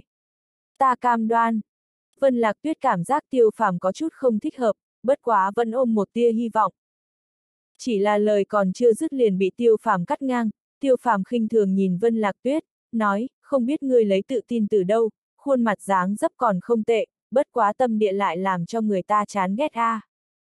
Một tên chiến tôn cảnh đỉnh phong còn chưa lọt vào mắt của hắn, hắn có tự tin đột phá chiến tôn đỉnh phong, thậm chí là chiến tông cảnh. Vương thất tại Đại Yên Vương Triều xác thực là một gia độc tôn nhưng bộ dáng cao cao tại thượng của Vân Lạc Tuyết lại làm cho tiêu phàm rất khó chịu, ánh mắt nhìn người của hắn rất tốt, Vân Lạc Tuyết tuyệt đối là một người bạc tình bạc nghĩa, đừng nói tiêu phàm khinh thường gia nhập vương thất, cho dù muốn gia nhập đi nữa thì giờ phút này ý tưởng đó cũng bị hắn bóp chết. Thần sắc Vân Lạc Tuyết cứng đờ, nàng làm sao biết tiêu phàm lại trực tiếp cự tuyệt như thế, bất quá chốc lát liền khôi phục lại bình tĩnh, ôm quyền nói, đã như vậy thì quấy rầy rồi. Cũng không đợi tiêu phàm trả lời, nàng liền quay người biến mất ở trong rừng cây. Đúng là một nữ nhân có tâm cơ. Bộ dáng bàn tử như ông cụ non nhưng không có ai phản bác hắn. Đồ lưu manh, người giết Hoàng Thiên Thần, không đắc tội Vân Lạc Tuyết còn tốt, hiện tại đắc tội với nàng thì sau này có chút khó khăn đấy. Tiểu ma nữ lo lắng nói. Nàng đang lo lắng cho ta sao? Tiêu phàm cười cười, hắn biết mình đã đồng thời đắc tội cả hoàng gia lẫn vương thất nhưng đây là cách làm người của hắn. Vì tu luyện mà làm nô tài cho người ta, đây đã vượt qua ranh giới cuối cùng của hắn. Ai thèm lo cho ngươi? Tiểu ma nữ hử lạnh một tiếng quay đầu đi chỗ khác. Nhìn hai người liếc mắt đưa tình, Lăng Phong không còn gì để nói, hắn vội vàng chen lời, nếu bọn hắn thực sự đến gây chuyện thì ta tin quách lão quỷ sẽ bảo vệ chúng ta a. À. Cứu, một tiếng thét dài truyền đến, mấy người tiêu phàm kinh hãi nhìn lên thấy hỏa tình điêu đang đáp sống, trong miệng phun ra hỏa diễm. Cách đó không xa còn có một đám phi cầm đang hướng về chỗ này bay tới, mặt đất rầm rầm run lên, có không ít hồn thú cũng đang lao về đây. Lão Tam, ngươi lần này tự lấy đá đập lên chân mình rồi, mê hồn dịch có tác dụng chó gì đâu. Sắc mặt bàn tử khó coi, liên tục nhìn bốn phía. Tiêu phàm cười khổ một hồi, nói ta làm sao biết hỏa tình điêu chỉ là chiến tôn cảnh đỉnh phong, hơn nữa còn chủ động công kích chúng ta, nếu biết thế thì đã không tốn sức dụ hồn thú đến rồi. Trực tiếp để bàn tử và lăng phong điệu hổ ly sơn liền có thể lấy được huyết tinh thảo rồi, cũng may huyết tinh thảo đã tới tay, hiện tại có thể luyện chế luyện thể dịch, chuyến này đã không uổng công tiến vào hồn thú sơn mạch rồi. Thi vũ, cẩn thận! Lăng phong kêu to, hướng về phía trước tiểu ma nữ đấm ra một quyền nhưng tiểu ma nữ căn bản không thèm nể mặt liền xoay ời bỏ chạy. Khi lăng phong kịp phản ứng thì tiêu phàm, tiểu ma nữ, bàn tử và tiểu kim đã chạy được mười mấy mét, đã lấy được huyết tinh thảo thì lưu lại đây cũng không còn giá trị gì. Các ngươi quả thật rất có nghĩ khí. Lăng phong giận mắng liền nhấc chân chạy, hắn mặc dù tự tin với thực lực của mình nhưng hiện tại có đến mấy chục con tứ giai hồn thú, cho dù là chiến tông cảnh cũng phải cong đít mà chạy. Lăng phong ngay lập tức liền chạy theo, hỏa tình điêu phát hiện huyết tinh thảo đã bị bọn tiêu phàm đoạt lấy thì lập tức điên cuồng đuổi theo. Sau nửa ngày, nơi đây xuất hiện mấy chục con tứ giai hồn thú, tất cả đều bị mùi thơm mê hồn dịch hấp dẫn tới nhưng vừa đến đây thì mùi thơm đã bị tiêu tán nên làm bọn chúng giận dữ không thôi. Hồn thú bạo loạn giống như phong bạo, lấy vị trí hiện tại làm trung tâm bắt đầu khách trương ra khắp hồn thú sơn mạch. Đám tiêu phàm chạy một mực mấy dặm mới dừng lại, hỏa tình điêu cũng không còn đuổi theo nữa nhưng bọn họ vẫn không thể buông lỏng cảnh giác. Địa phương này rất tốt, các người hãy hộ pháp cho ta, ta sẽ bắt đầu luyện chế luyện thể dược dịch. Sau khi tìm thấy một hang động thì tiêu phàm nhìn mấy người kia nói. Lão Tam, người yên tâm, có ta ở đây một con muỗi cũng đừng hòng đi vào, chỉ cần ta sống. Bàn tử vỗ vỗ ngực bảo đảm nói, bắt đầu làm nhảm mấy lời thề non hẹn biển. Tiêu phàm lười nghe nên liền đi vào hang động, bàn tử nói nhiều như vậy không phải chỉ vì luyện thể dịch tứ giai thôi sao. Trong sơn động, tiêu phàm lấy ra 20 gốc linh dược mà hắn đã chuẩn bị trước, tất cả chỉ chờ huyết tinh thảo, hiện tại huyết tinh thảo đã tới tay vậy thì liền có thể luyện chế được rồi. Trừ mấy cái đó ra còn có một cái nồi lớn, nếu để cho luyện dược sư khác nhìn thấy thì nhất định sẽ bị cười cho đến rụng răn, luyện khí luyện dược sư nào mà không dùng đỉnh lô. Sử dụng nồi đen để luyện dược, đây cũng là kỳ tài trong chiến hồn đại lục rồi a. À. Luyện dược sư đều có dược đỉnh cùng dược lô chuyên môn, xem ra sau này phải nghĩ cách kiếm một cái mới được. Tiêu phàm âm thầm trầm ngâm nói, có lô đỉnh thì xác suất thành công luyện chế ra tứ phẩm luyện thể dịch cao hơn rất nhiều. Nhưng hiện tại hắn cũng là chiến tôn sơ kỳ, hồn lực cũng đủ trèo chống luyện chế tứ giai linh dịch rồi. Vậy thì bắt đầu thôi. Tiêu phàm lấy ra mấy loại linh thảo ném vào trong nồi đen, hồn lực hóa thành hồn hỏa bắt đầu luyện chế. Cô động chính là dược lý của thuốc đông y, không phải dựa vào lửa bình thường mà là dựa vào hồn hỏa, đây cũng chính là điểm khác biệt lớn nhất giữa luyện dược sư và người thường, luyện dược sư khống chế hồn lực đã gần đến mức hoàn mỹ. Thời gian chậm chậm trôi qua, trong lúc tiêu phàm đang đắm chìm bên trong luyện thể dịch thì ngoại giới đã triệt để bạo động lên, vô số hồn thú lao ra dẫm nát cả một cánh rừng, đây là lần bạo động lớn nhất trong hồn thú sơn mạch từ trước đến nay. Sự tĩnh lặng của hồn thú sơn mạch đã bị hồn thú phá vỡ, vô số tiếng gầm thét của hồn thú từ bên trong truyền khắp sơn lâm. Vân Lạc Tuyết bị tiêu phàm cự tuyệt thì trong lòng nàng đã nổi lên sát khí nặng nề, nếu như không phải kiêng kỵ chiến lực bốn người một thú thì có lẽ đã sớm động thủ. Nàng muốn tập sát mấy người này lại không ngờ có một con hỏa tình điêu đuổi theo, trong lòng nàng hơi động liền lập tức bám theo. Chỉ là tốc độ của đám tiêu phàm quá nhanh làm cho nàng hoàn toàn mất dấu.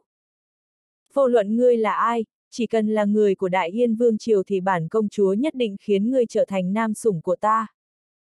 Vân Lạc Tuyết nhỏ giọng thì thầm, trên mặt đầy vẻ phẫn hận. Vân Lạc Tuyết ngừng bước chân, khí tức băng lãnh cảnh giác bốn phía, quát khẽ nói, ai?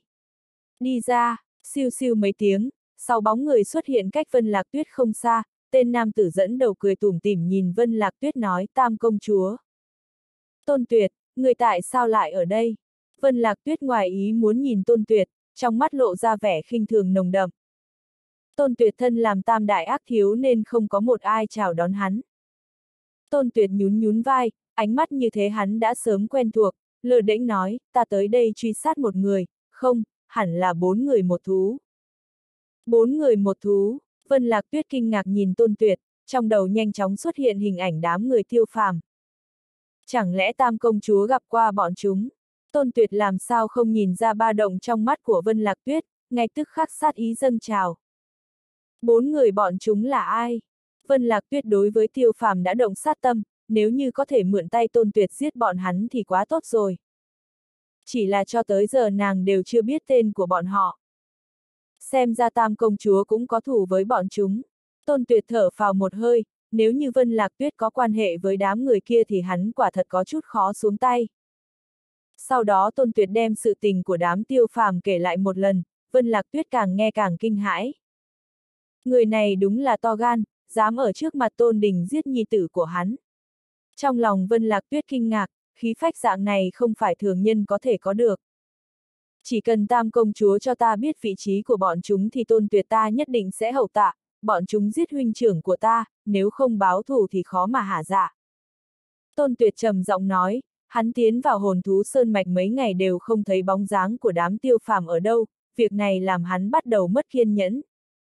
Bọn hắn không những giết huynh trưởng ngươi mà còn giết Lý Tử An và Hoàng Thiên Thần. Vân Lạc Tuyết âm trầm nói, tiêu phàm diệt sát Hoàng Thiên Thần là do chính mắt nàng thấy nên nàng cũng không ngại đổ tội giết Lý Tử An lên đầu của bọn hắn. Nàng tin lấy thực lực của Lạc Trần nhất định có thể giết chết Lý Tuyết Y. Nếu như nàng biết Lý Tuyết Y đã được bọn tiêu phàm cứu thì nhất định sẽ không nói như thế.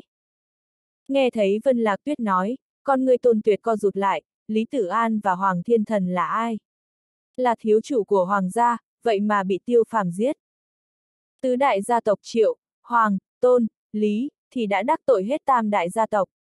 Hắn ở đây, Tôn tuyệt sát cơ lộ ra hỏi, hắn lấy bá đạo mà nổi danh ở Yến Thành, thực lực hắn cũng không có ai dám chọc vào. Ta một mực theo dõi bọn hắn, vừa mới mất dấu ở đây, xem xét xung quanh thì có lẽ hắn hướng về phía này.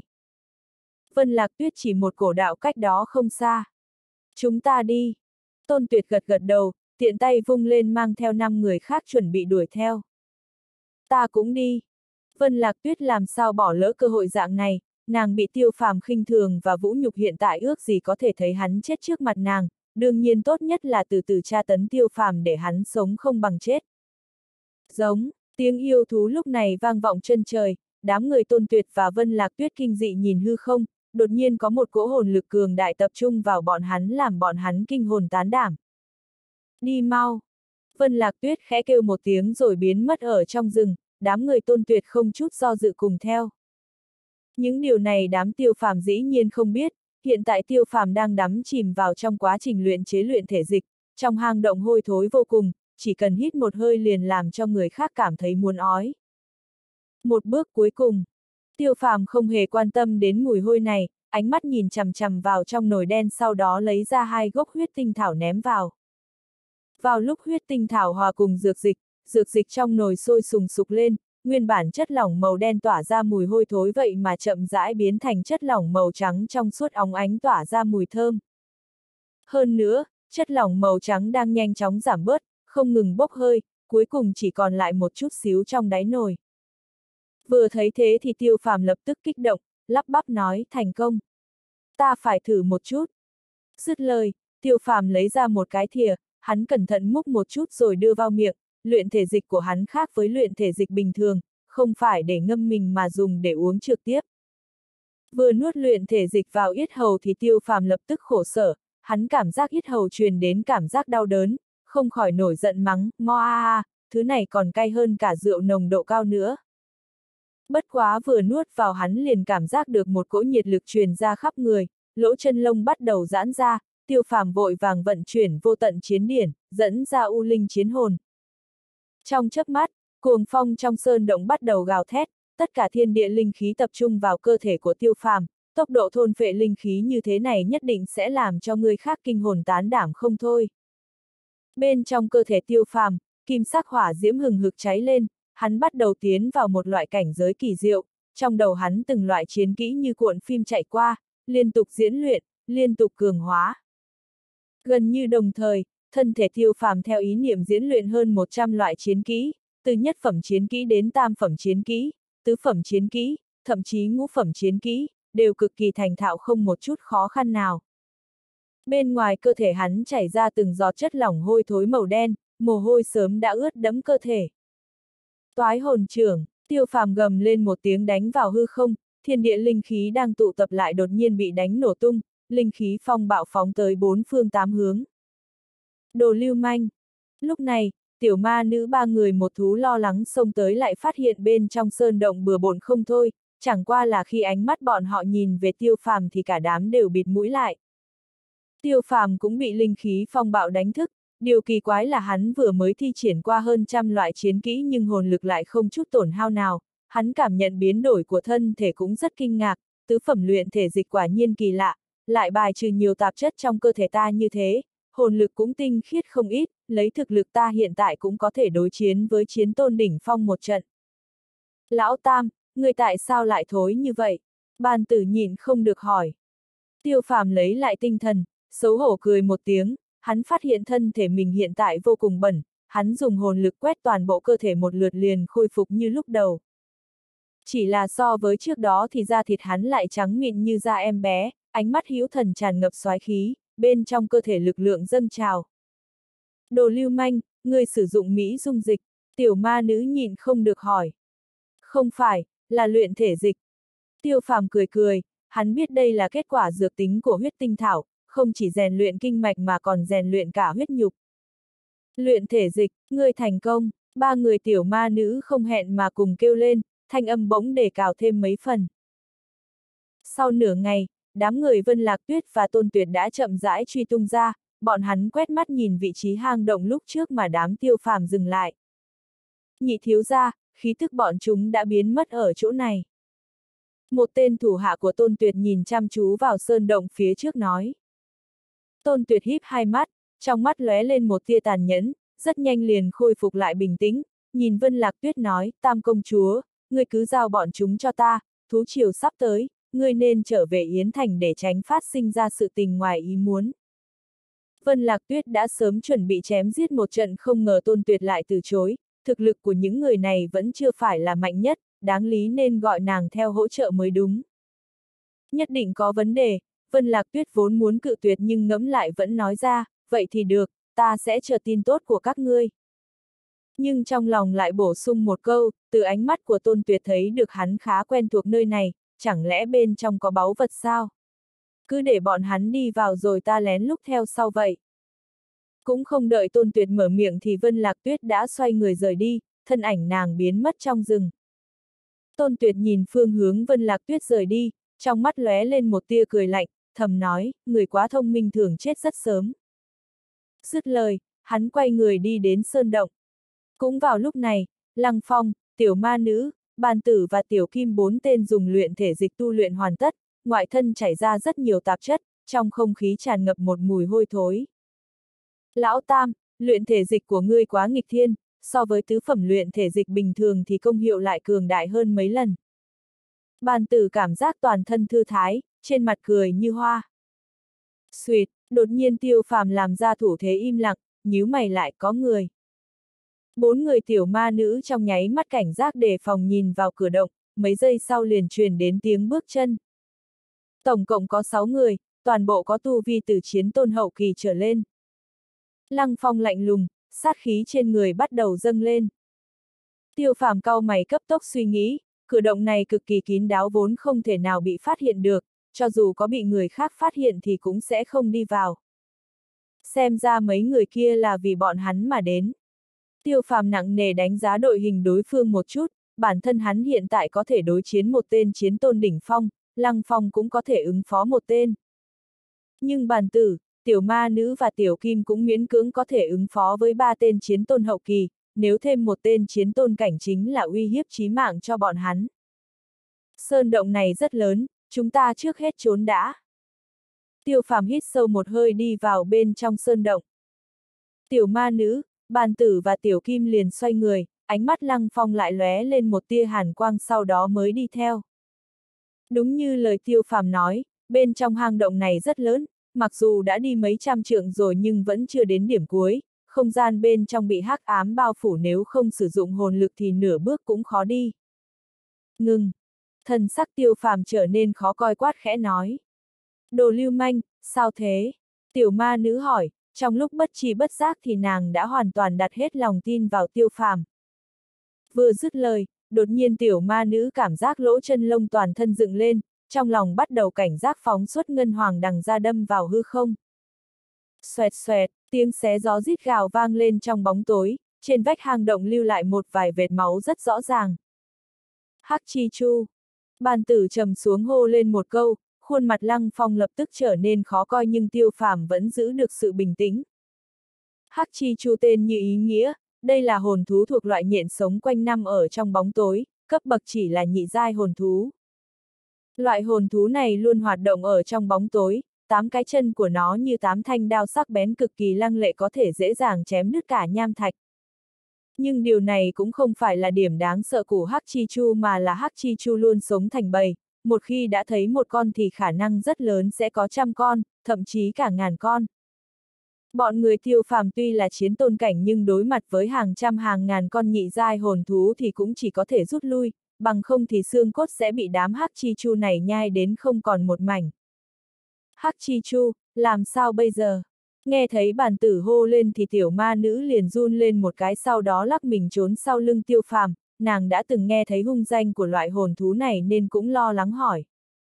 Tiêu phàm dùng hồn lực dò xét bốn phía phát hiện xung quanh có cả trăm con hắc chi chu, càng vào sâu hắc chi chu càng nhiều nên muốn tiếp tục vào trong thì vô cùng khó khăn. Nhưng phía sau lại có sáu tên chiến tôn đang đuổi theo, nếu như lui lại thì khó tránh được một trận chém giết. Trước tiên rời khỏi nơi này đã, cho dù gặp đám người kia thì vẫn có thể đánh một trận. Bàn tử lần đầu tỏ ra sợ hãi nhìn sâu vào bên trong hang động. Các ngươi còn muốn rời đi. Một tiếng cười lạnh truyền đến từ phía sau, ánh sáng lập lòe từ bó đuốc soi sáng một phần hang động, nương theo ánh sáng kia có thể thấy được thân ảnh sáu người đang đến, đó chính là bọn tôn tuyệt. Không khí trong hang động lập tức trở nên căng thẳng, hai phe không nói lời nào, từng giọt nước chảy dọc theo thạch nhũ phía trên chảy xuống phát ra âm thanh tí tách thật vang vọng. Đúng rồi, các ngươi không biết ta.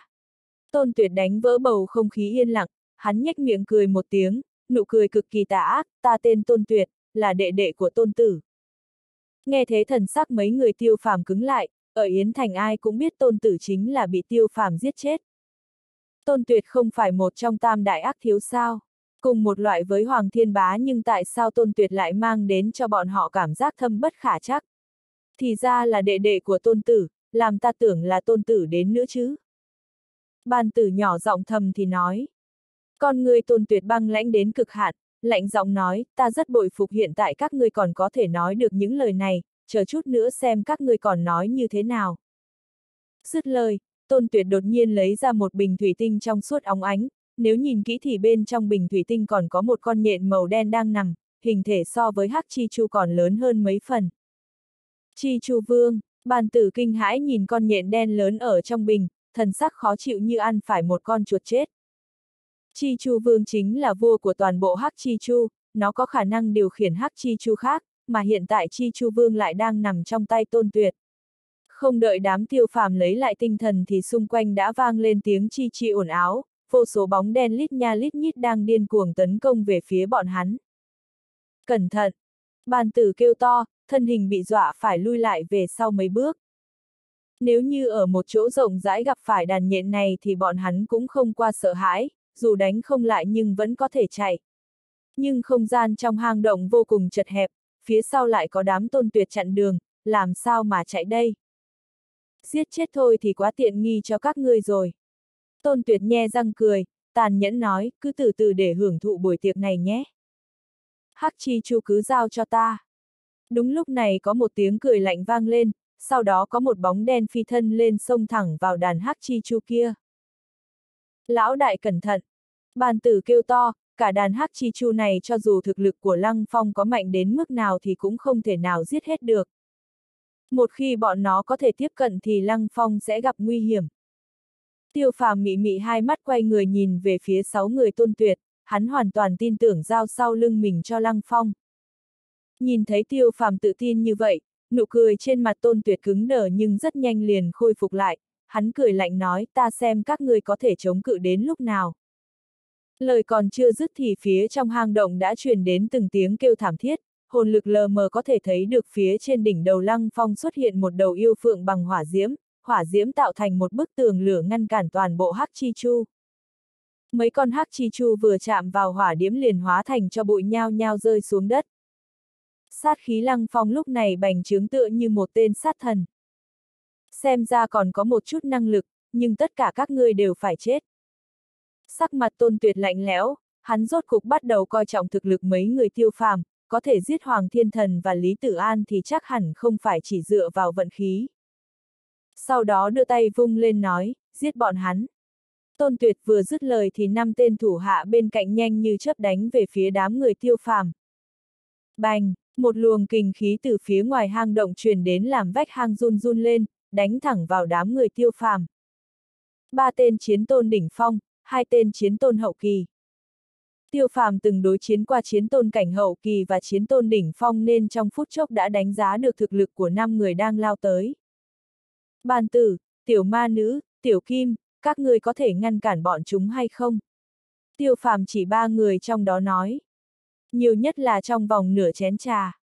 Bàn tử híp hai mắt cũng nhìn ra thực lực ba người kia, hắn mặc dù chỉ là chiến tôn cảnh sơ kỳ nhưng lại có cửu phẩm chiến hồn, kim cương đại lực thần nghiêu, hơn nữa khoảng cách đến chiến tôn trung kỳ chỉ còn một bước, hắn cùng tiểu ma nữ và tiểu kim ngăn chặn ba tên kia trong thời gian ngắn cũng không phải vấn đề lớn. Ta cũng không thành vấn đề. Tiểu ma nữ gật gật đầu. Giống, tiểu kim gầm nhẹ một tiếng, sau đó ánh mắt lộ ra vẻ dữ tợn nhìn chằm chằm ba người kia. Chỉ bằng ba tên chiến tôn sơ kỳ các ngươi cũng muốn chặn chúng ta. Một người trong đó cười lạnh không thôi, ba người bọn họ chính là chiến tôn cảnh đỉnh phong vậy mà dám xuất khẩu cuồng ngôn nói muốn ngăn bọn họ trong nửa chén trà. Giết trước rồi nói. Một tên khác tức giận nói, lời nói của tiêu phàm và bàn tử chính là vũ nhục đối với thực lực của bọn hắn. Ai giết ai còn chưa biết được. Bàn tử giận dữ hét lên, hắn trực tiếp triệu hồi kim cương đại lực thần nghiêu sau đó thi triển ra bá đạo thiên quyền. Chói buộc. Tiểu ma nữ đồng thời xuất thủ, ở trong không gian chật hẹp này tuy hạn chế khả năng của nàng nhưng vẫn có một chỗ tốt đó chính là đối phương cũng khó có thể thoát được công kích của nàng. Cửu phẩm chiến hồn, bát phẩm chiến hồn. Tôn tuyệt mặc dù đã sớm được biết nhưng khi nhận thấy vẫn chấn động vô cùng, ánh mắt hắn nhìn tiểu ma nữ đầy vẻ dâm tà, tiểu nương tử, chỉ cần ngươi làm nữ nhân của tôn tuyệt ta thì ta có thể tha cho bọn hắn một mạng. Cút, tiểu ma nữ trả lời chỉ có một chữ, nàng trời sinh tính tình quật cường nên không một ai có thể ép nàng được. Ánh mắt tôn tuyệt dần dần biến lạnh, ta lại rất thích những người ươn ngạnh.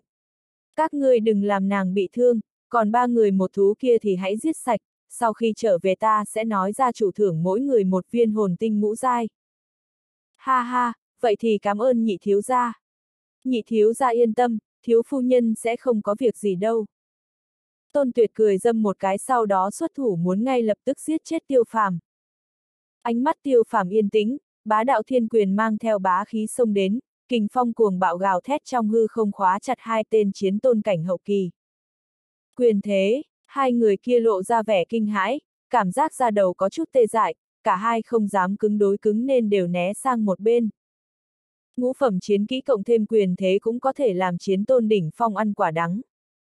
Ngay lập tức, khóe miệng tiêu phàm cười quỷ dị, thân thể của hắn chớp mắt biến mất sau đó xuất hiện trước mặt một tên. Giết! Tiêu phàm băng lãnh nói một chữ, bá đạo thiên quyền đánh thẳng vào trên ngực người kia.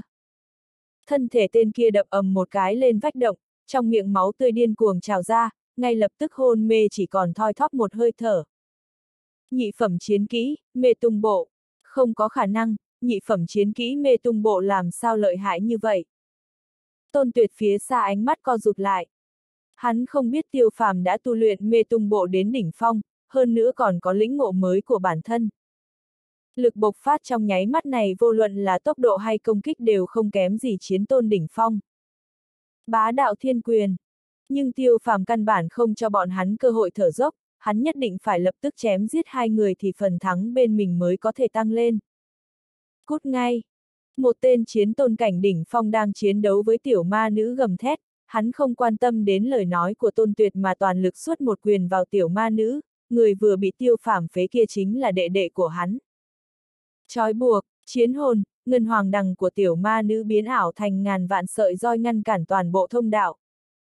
Đồng thời, tiêu phàm và chiến tôn cảnh hậu kỳ đang cứng đối cứng một quyền, điều kỳ quái là người kia lui lại năm bước mà tiêu phàm chỉ vẻn vẹn lùi lại một bước, hơn nữa cánh tay người kia trực tiếp bị đánh vỡ nát. Vô tận chi kiếm. Tiêu phàm không chút mềm lòng, hồn kiếm được tạo thành từ kiếm thế vô cùng bá đạo và sắc bén, đất đá trong thông đạo bắn ra bốn phía, bụi bặm mịt trời. Ánh sáng từ bó đuốc đã tắt, đám người đành phải sử dụng hồn lực để quan sát tình huống bốn phía. Hồn kiếm xuyên thẳng qua lồng ngực của người kia làm lục phủ ngũ tạng rơi lạch bạch, sắc mặt của tiêu phàm từ đầu đến cuối chỉ là một vẻ băng lãnh. Người đáng chết nhất định phải chết. Sau khi trọng sinh ở chiến hồn đại lục thì đây cũng chẳng phải là lần đầu hắn giết người, cảm giác này làm cho hắn vô cùng thoải mái. Cuồng sát không phải con đường của ta, thứ ta truy cầu chính là một cuộc sống tiêu giao tự tại. Tiêu phàm từ trong cơn say máu tỉnh lại, hắn mém một chút đã rơi vào một loại cảnh giới đáng sợ. Sợ cái gì, chỉ cần giết chết bọn hắn thì mỗi người được thưởng hai viên hồn tinh ngũ dai. Tôn tuyệt gào thét, hắn không đứng xem nữa mà chủ động lao lên tấn công phía sau tiêu phàm. Sau lưng hắn xuất hiện một hư ảnh cự hổ, toàn thân lóe lên lôi quang, dường vân quỷ dị đan xen với nhau. Lục phẩm chiến hồn, lôi văn hổ. Trong mắt tiêu phàm lóe lên vẻ khác lạ, ở bên ngoài chỉ đồn rằng chiến hồn của tôn tuyệt là một đầu ác hổ, xem ra lời đồn cũng không thể hoàn toàn tin tưởng nha. Tôn tuyệt nắm giữ lục phẩm chiến hồn thì nhất định có thể chiếm được một vị trí trên viện bản, hơn nữa điều làm tiêu phàm kinh ngạc nhất chính là khí thức của tôn tuyệt vậy mà là chiến tôn đỉnh phong. Hiện tại sợ rồi, tôn tuyệt cười lạnh, dám học trộm bá đạo thiên quyền của tôn gia ta, để xem ngươi học được bao nhiêu phần. Cùng một lúc, hai người đồng thời thi triển ra ngũ phẩm chiến kỹ, bá đạo thiên quyền. Oanh, bá đạo thiên quyền đối chiến bá đạo thiên quyền. Khí lãng làm toàn bộ hang động cuồng bạo, vách đá đổ sụp, cự thạch rơi ầm ầm xuống, thông đạo chật hẹp bắt đầu sụp đổ. Tôn tuyệt lui lại ba bước mà tiêu phàm phải lui tận bảy bước mới dừng lại, khóe miệng hắn lại chảy ra một tia máu tươi. Thế nào, dễ chịu không? Tôn tuyệt lạnh lùng nhe răng cười, trong lòng hắn vô cùng tự tin với thực lực của bản thân, tuy ở ngoài hắn ẩn nhẫn thành một tên thiếu gia ăn chơi trác táng nhưng thực lực của hắn trong trong cùng lứa cũng không có mấy người có thể địch lại. Tiêu phàm một mặt ửng hồng, hắn đã xác định được thực lực chính xác của tôn tuyệt. Chiến tôn cảnh đỉnh phong, đây là thực lực một tên ác thiếu có thể đạt đến sao? Thực lực của hắn hơn Sakaka tôn tử của hắn quá nhiều, cho dù là sử dụng quyền thế cũng không thể chiếm được thượng phong. Hắn biết rõ tranh lệch cảnh giới cũng không thể chỉ dùng quyền thế để cân bằng, không thể ngạch kháng mà phải tìm được điểm yếu của hắn. Cũng không lợi hại lắm. Tiêu phàm lau đi vết máu, thân sắc khôi phục lại vẻ bình tĩnh, thực lực của hắn mặc dù yếu hơn nhưng vẫn có thể chiến một trận. Vậy sao, nụ cười trên mặt tôn tuyệt biến thành cười lạnh, ta sẽ cho ngươi biết thế nào là tuyệt vọng. Dứt lời, lục phẩm chiến hồn, lôi văn hổ gầm thét lao về phía tiêu phàm, tiêu phàm thấy thế liền cười quỷ dị. Hô! U linh chiến hồn âm trầm xuất hiện, cỗ khí thế này so với tôn tuyệt thì càng bá đạo cuồng bạo hơn, sương mù màu đen lấp lóe hóa thành một trận mây mù màu đen bao phủ lôi văn hổ. Lại là một chiêu này. Nghe nói chiến hồn của ngươi rất cường đại, hôm nay ta tự mình thử một lần, ta sẽ cho ngươi chân chính nhìn thấy sự tranh lệch giữa chiến tôn sơ kỳ và chiến tôn đỉnh phong là như thế nào. Tôn Tuyệt nghe nói chiến hồn của tiêu phàm vô cùng quỷ dị, nhìn qua chỉ là tứ phẩm chiến hồn nhưng lục phẩm chiến hồn, xích diễm thiên hùng của đại ca cũng không phải là đối thủ. Lôi bảo. Tôn Tuyệt cười gằn, chiến hồn, lôi văn hổ đột nhiên bắt đầu cuồng bạo, tia chớp màu trắng dày đặc liên tục bắn ra hư không mấy trượng, lóa mắt, rung động. Mau lui lại. Tiêu phàm kêu to, ánh mắt lộ ra vẻ kinh hãi, tôn tuyệt so với hắn tưởng tượng thì cường đại hơn quá nhiều. Ba người tiểu ma nữ, bàn tử và tiểu kim vội vàng đánh bay ba tên chiến tôn đỉnh phong đối diện, vừa lúc bọn hắn lui lại thì vị trí trí trước đó đã bị lôi bạo đánh nát. Nếu mà chậm một chút thì tất cả đã bị trông thương. Còn người tiêu phàm băng lãnh, trên mặt lộ ra thần sắc thống khổ, bất quá hắn không dám lui lại phía sau nửa bước, U Linh chiến hồn đang chắn trước mặt hắn, nếu như phòng ngự của U Linh chiến hồn bị phá thì người xui xẻo chính là hắn. Hắn không dám chắc bản thân mình dưới lôi điện cuồng bạo này có thể sống sót được không, nhưng nếu mà không lui lại thì U Linh chiến hồn nhất định phải bị tổn thương. Hắn cảm nhận được rõ ràng khí thức của U Linh chiến hồn đang yếu đi, hắc khí dày đặc hiện tại đã tán đi phần lớn. Tiêu phàm rốt cục cảm nhận được sự tranh lệch cảnh giới trong cùng giai, cho dù là địch hàn và tôn tử cảnh giới chiến tôn cảnh hậu kỳ nhưng cũng tranh lệch quá lớn với tên tôn tuyệt này. Mà sự cường đại của tôn tuyệt đã xa xa vượt qua khỏi cảnh giới chiến tôn, có lẽ hắn đã bước một chân vào cảnh giới chiến tông rồi. Tôn tuyệt nắm giữ lục phẩm chiến hồn một khi đột phá chiến tông cảnh thì chiến lực trong cùng giai rất ít có địch thủ. Ta vẫn còn quá yếu. Tiêu phàm lắc đầu thở dài, hắn vốn có chút tự ngạo, tự ngạo bản thân có thể vượt ra khiêu chiến. Nhưng hiện tại hắn đã hiểu, chiến tôn sơ kỳ thì dù sao vẫn là chiến tôn sơ kỳ, đối mặt với nhân vật thiên tài chiến tôn cảnh trung kỳ, hậu kỳ, thậm chí đỉnh phong thì hắn vẫn không phải là đối thủ. Nếu như hiện tại hắn là chiến tôn đỉnh phong thì một tên tôn tuyệt nhỏ bé này hắn cũng chẳng để vào mắt. Trong lòng tiêu phàm lúc này tràn ngập khát vọng đối với lực lượng. Yến Thành thu liệp sắp tới, cho dù thần phong học viện chỉ có 4 tên học viên nhưng nhất định cũng phải tham gia, khi đó còn sẽ gặp phải rất nhiều cao thủ khác của chiến vương học viện. Tỷ như Lạc Trần, tỷ như Vân Lạc Tuyết, thực lực bọn hắn cũng yếu hơn bao nhiêu. Lão Tam, bên trong sơn động có đường, trước tiên rút lui đã. Vào lúc tiêu phàm còn đang gấp rút suy nghĩ đối sách, thanh âm lăng phong vang lên, vô số hắc chi chu đều bị hắn đánh đến tan nát, chỉ còn lẻ tẻ vài trăm con. Bọn hắc chi chu kia lúc này theo bản năng có sự sợ hãi từ tân linh hồn đối với lăng phong, mặc dù có mệnh lệnh của chi chu vương nhưng cũng không dám tùy tiện công kích lăng phong. Muốn chạy, muộn rồi, tôn tuyệt cười lạnh, thân thể và chiến hồn cùng xông lên, lôi bạo nghiền ép tất cả đánh đến. Ngũ phẩm chiến kỹ, lôi bạo là một trong những át chủ bài hắn, mặc dù còn chưa nắm giữ thuần thục nhưng phối hợp với chiến hồn lôi văn hổ thi triển ra uy lực gần như đã đạt đến cảnh giới chiến tông, một tên chiến tôn cảnh sơ kỳ làm sao có thể ngăn cản. Tôn tuyệt quyết tâm dùng cả át chủ bài để giết chết tiêu phàm.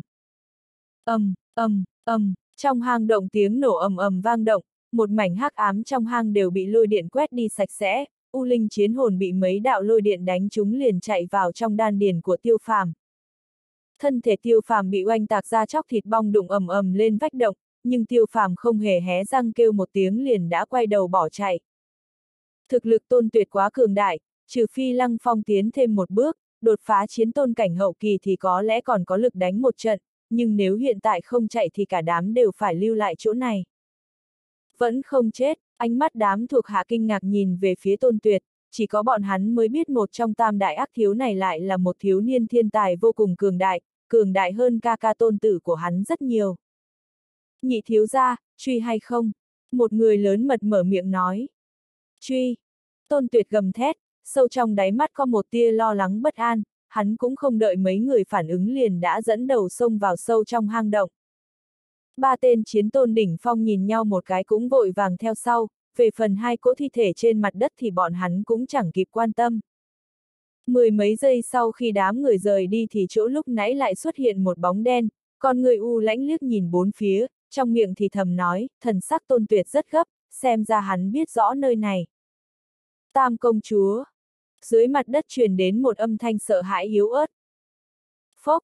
Chỉ là lời nói còn chưa hết liền bị bóng đen kia nhất kiếm phong hầu, hang động lại lần nữa khôi phục yên tĩnh, bóng đen trù trừ một lúc liền tiếp tục hướng về bên trong hang động đi đến. Tiêu phàm, người thế nào rồi, đừng làm ta sợ a. À. Tiểu ma nữ nhìn sắc mặt tiêu phàm trắng bệch liên tục ho ra máu liền lo lắng kêu lên. Lão Tam, Lăng Phong và bàn tử diều tiêu phàm, thần sắc cũng có chút bận tâm, tiểu kim ở một bên phẫn nộ gầm nhẹ, trong mắt cũng vô cùng lo lắng. Không có việc gì, ta nghỉ ngơi một hồi liền khỏi. Thanh âm tiêu phàm hết sức yếu ớt, để không làm mọi người lo lắng nên hắn cũng không nói ra tình huống thực sự của bản thân. Bị ngũ phẩm chiến kỹ, lôi bạo đánh chúng, u linh chiến hồn bị thương nặng, hồn lực tổn thất không ít, đan điền của hắn hoàn toàn bị tổn thương, trong thời gian ngắn không thế nào có thể khôi phục lại. Nhưng làm hắn an ủi là bạch thạch trong đan điền bắt đầu tỏa ra quang mang màu trắng tu bổ cho chiến hồn và đan điền, cả hai đang khôi phục rất nhanh. Cứ theo đà này thì sau hai canh giờ có thể hồi phục hoàn toàn A, tiêu phàm lại một lần cảm nhận được lợi ích của bạch thạch. Ngõ cụt rồi. Thanh âm lo lắng của bàn tử vang lên. Ngõ cụt, lăng phong, tiểu ma nữ và tiểu kim đột nhiên dừng lại để phòng nhìn chằm chằm thông đạo phía sau, thỉnh thoảng quan sát bốn phía.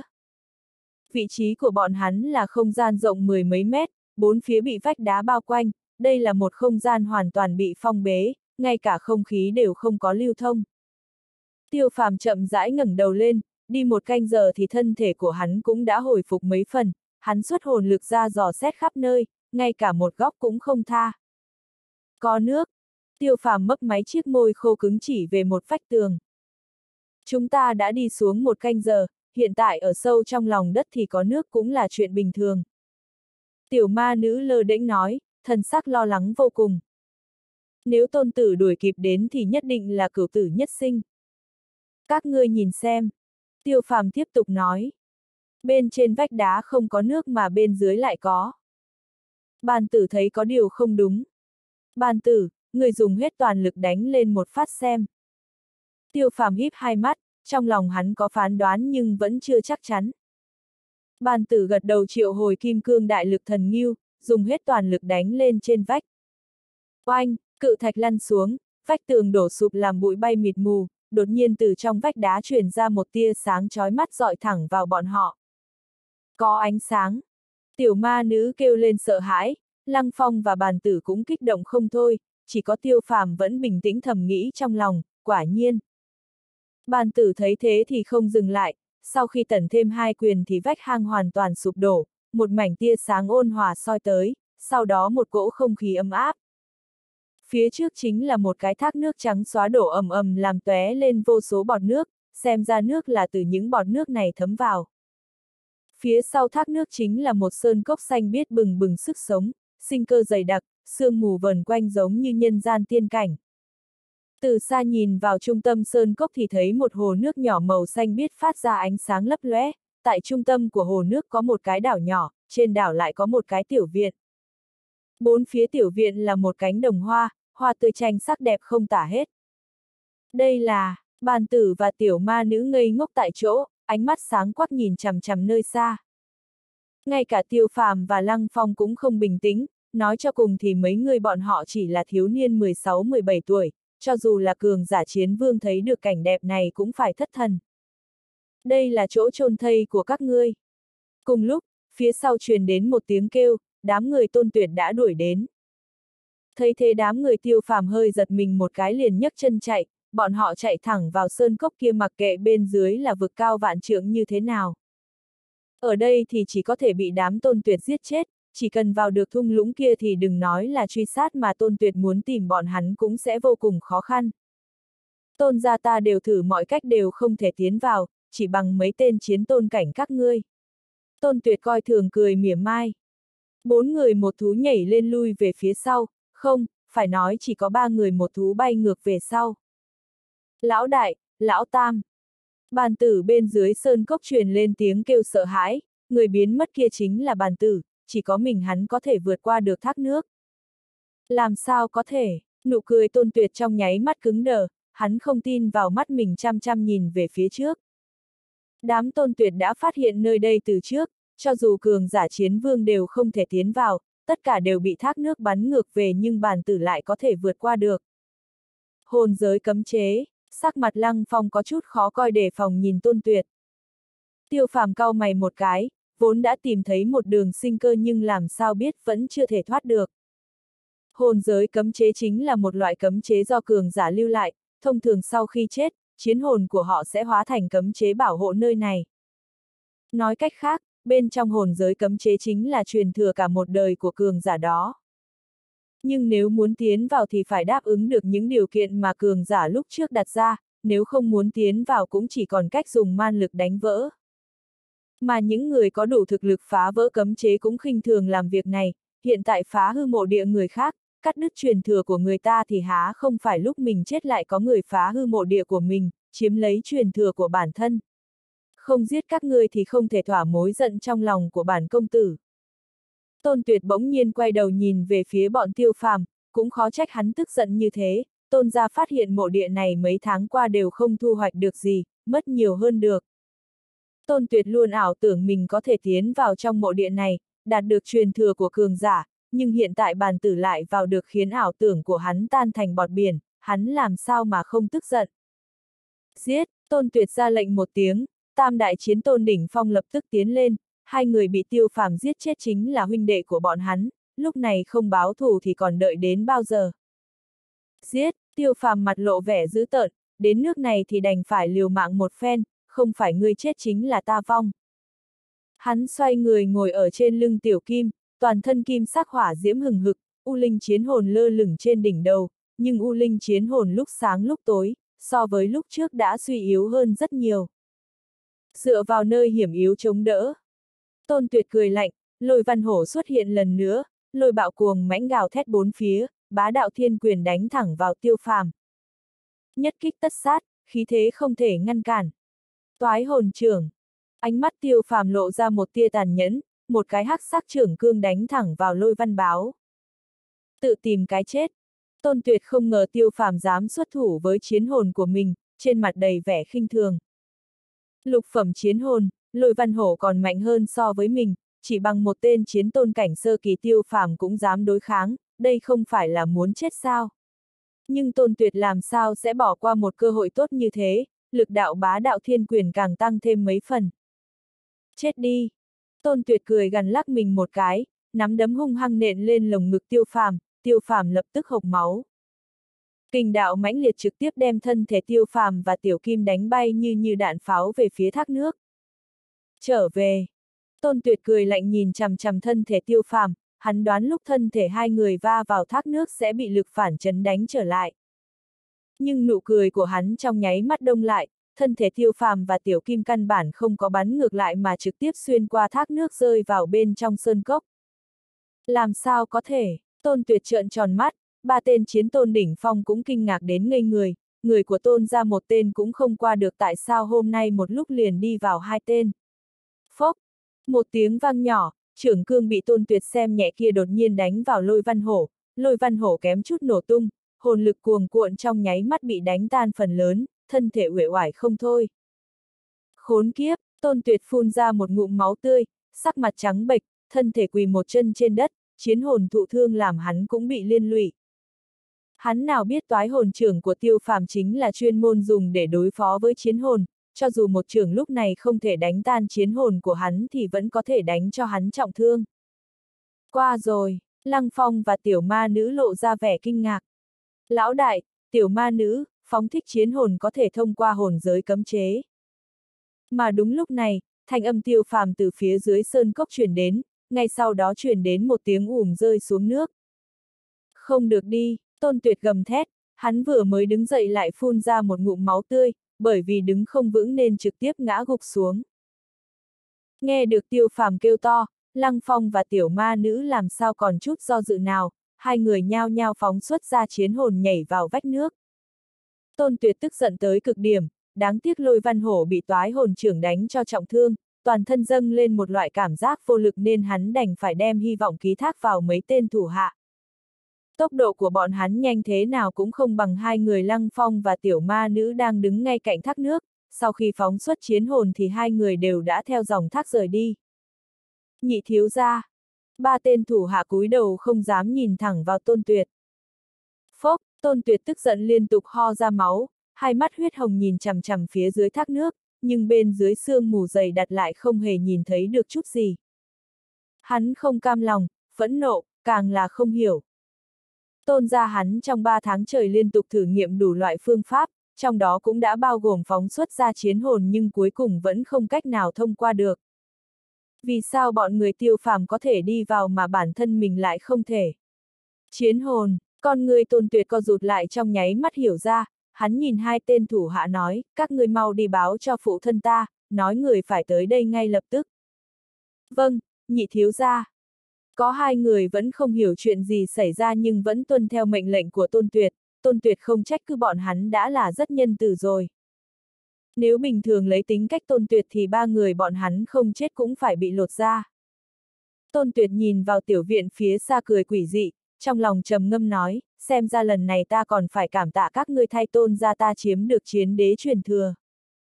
Đúng như tôn tuyệt suy đoán, bọn bàn tử sở dĩ có thể tiến vào bởi vì chiến hồn bọn hắn có phẩm giai rất cao, yếu nhất đều là bát phẩm chiến hồn. Nhưng điều duy nhất làm hắn khó hiểu là tiêu phàm chỉ có chiến hồn tứ phẩm, hắn làm sao cũng có thể thông qua. Đám tiêu phàm rơi xuống đầm nước liền bắt đầu gian nan bơi vào bờ, tiêu phàm nằm trên mặt đất há mồm thở dốc, vừa rồi lại chịu một kích của tôn tuyệt có thể nói là vết thương cũ chưa khỏi đã bồi thêm vết thương mới. Đồ lưu manh, người thế nào rồi? Tiểu ma nữ lo lắng nhìn tiêu phàm. Còn chưa chết được.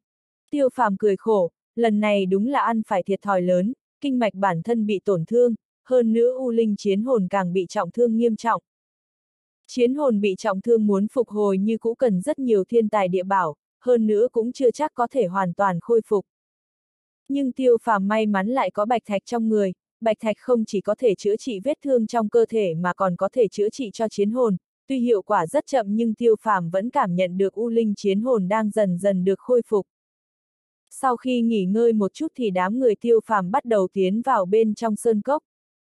Cổ thụ che trời, sương mù lượn lờ, thiên địa linh khí đậm đặc vô cùng, nơi này chính là một thánh địa tu luyện nhưng tâm tư cả bọn hiện tại đều đặt vào tiểu viện ở giữa hồ.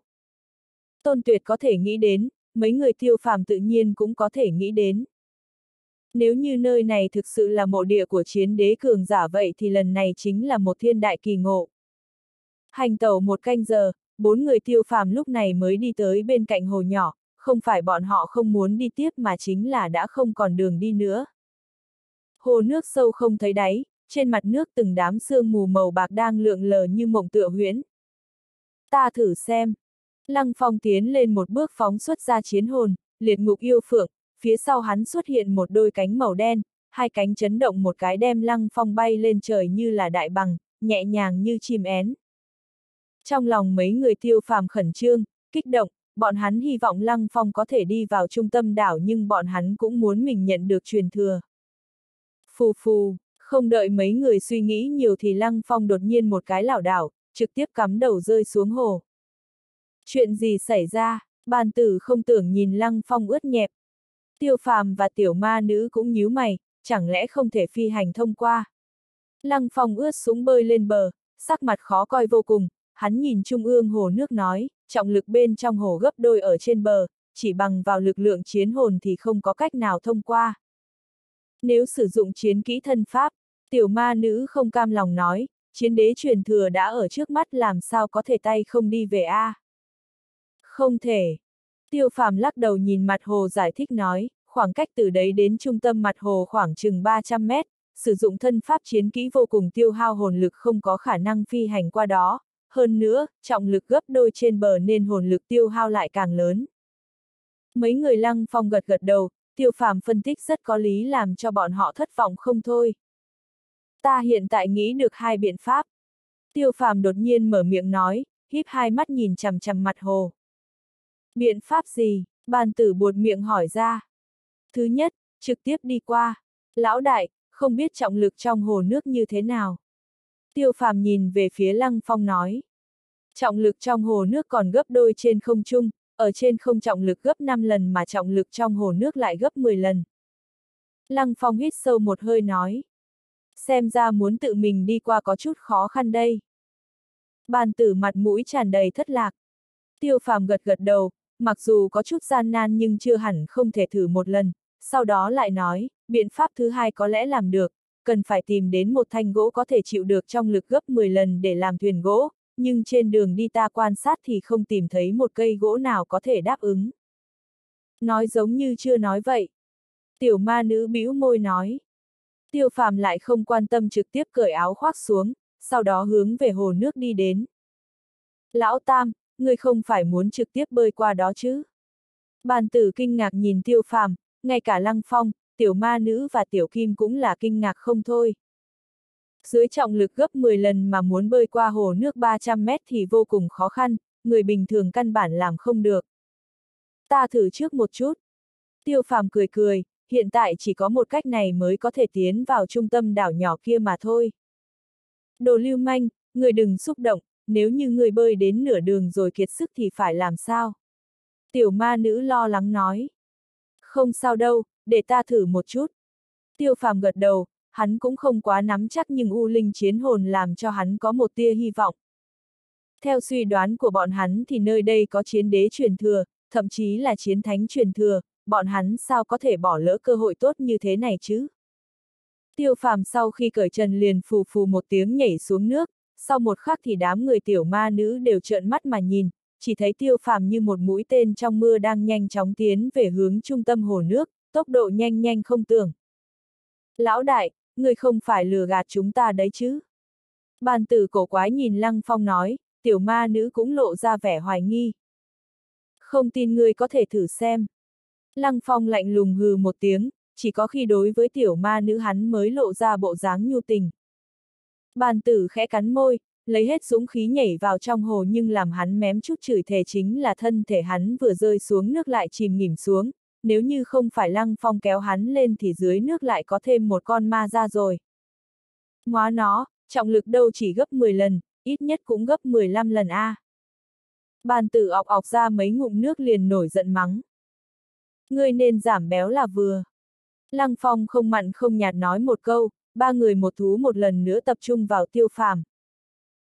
Kỳ thật không chỉ đám tiểu ma nữ chấn kinh mà bản thân tiêu phàm cũng kinh ngạc không thôi, lúc đầu hắn liều mạng chuẩn bị nhưng vừa vào hồ lại không cảm nhận được một chút trọng lực nào. Sau một lát tiêu phàm mới minh bạch, U Linh chiến hồn đã hóa thành một đoàn xương mù bao phủ lấy hắn, đem tất cả trọng lực triệt tiêu đi, hiện tại trọng lực trong hồ không có tác dụng gì với hắn.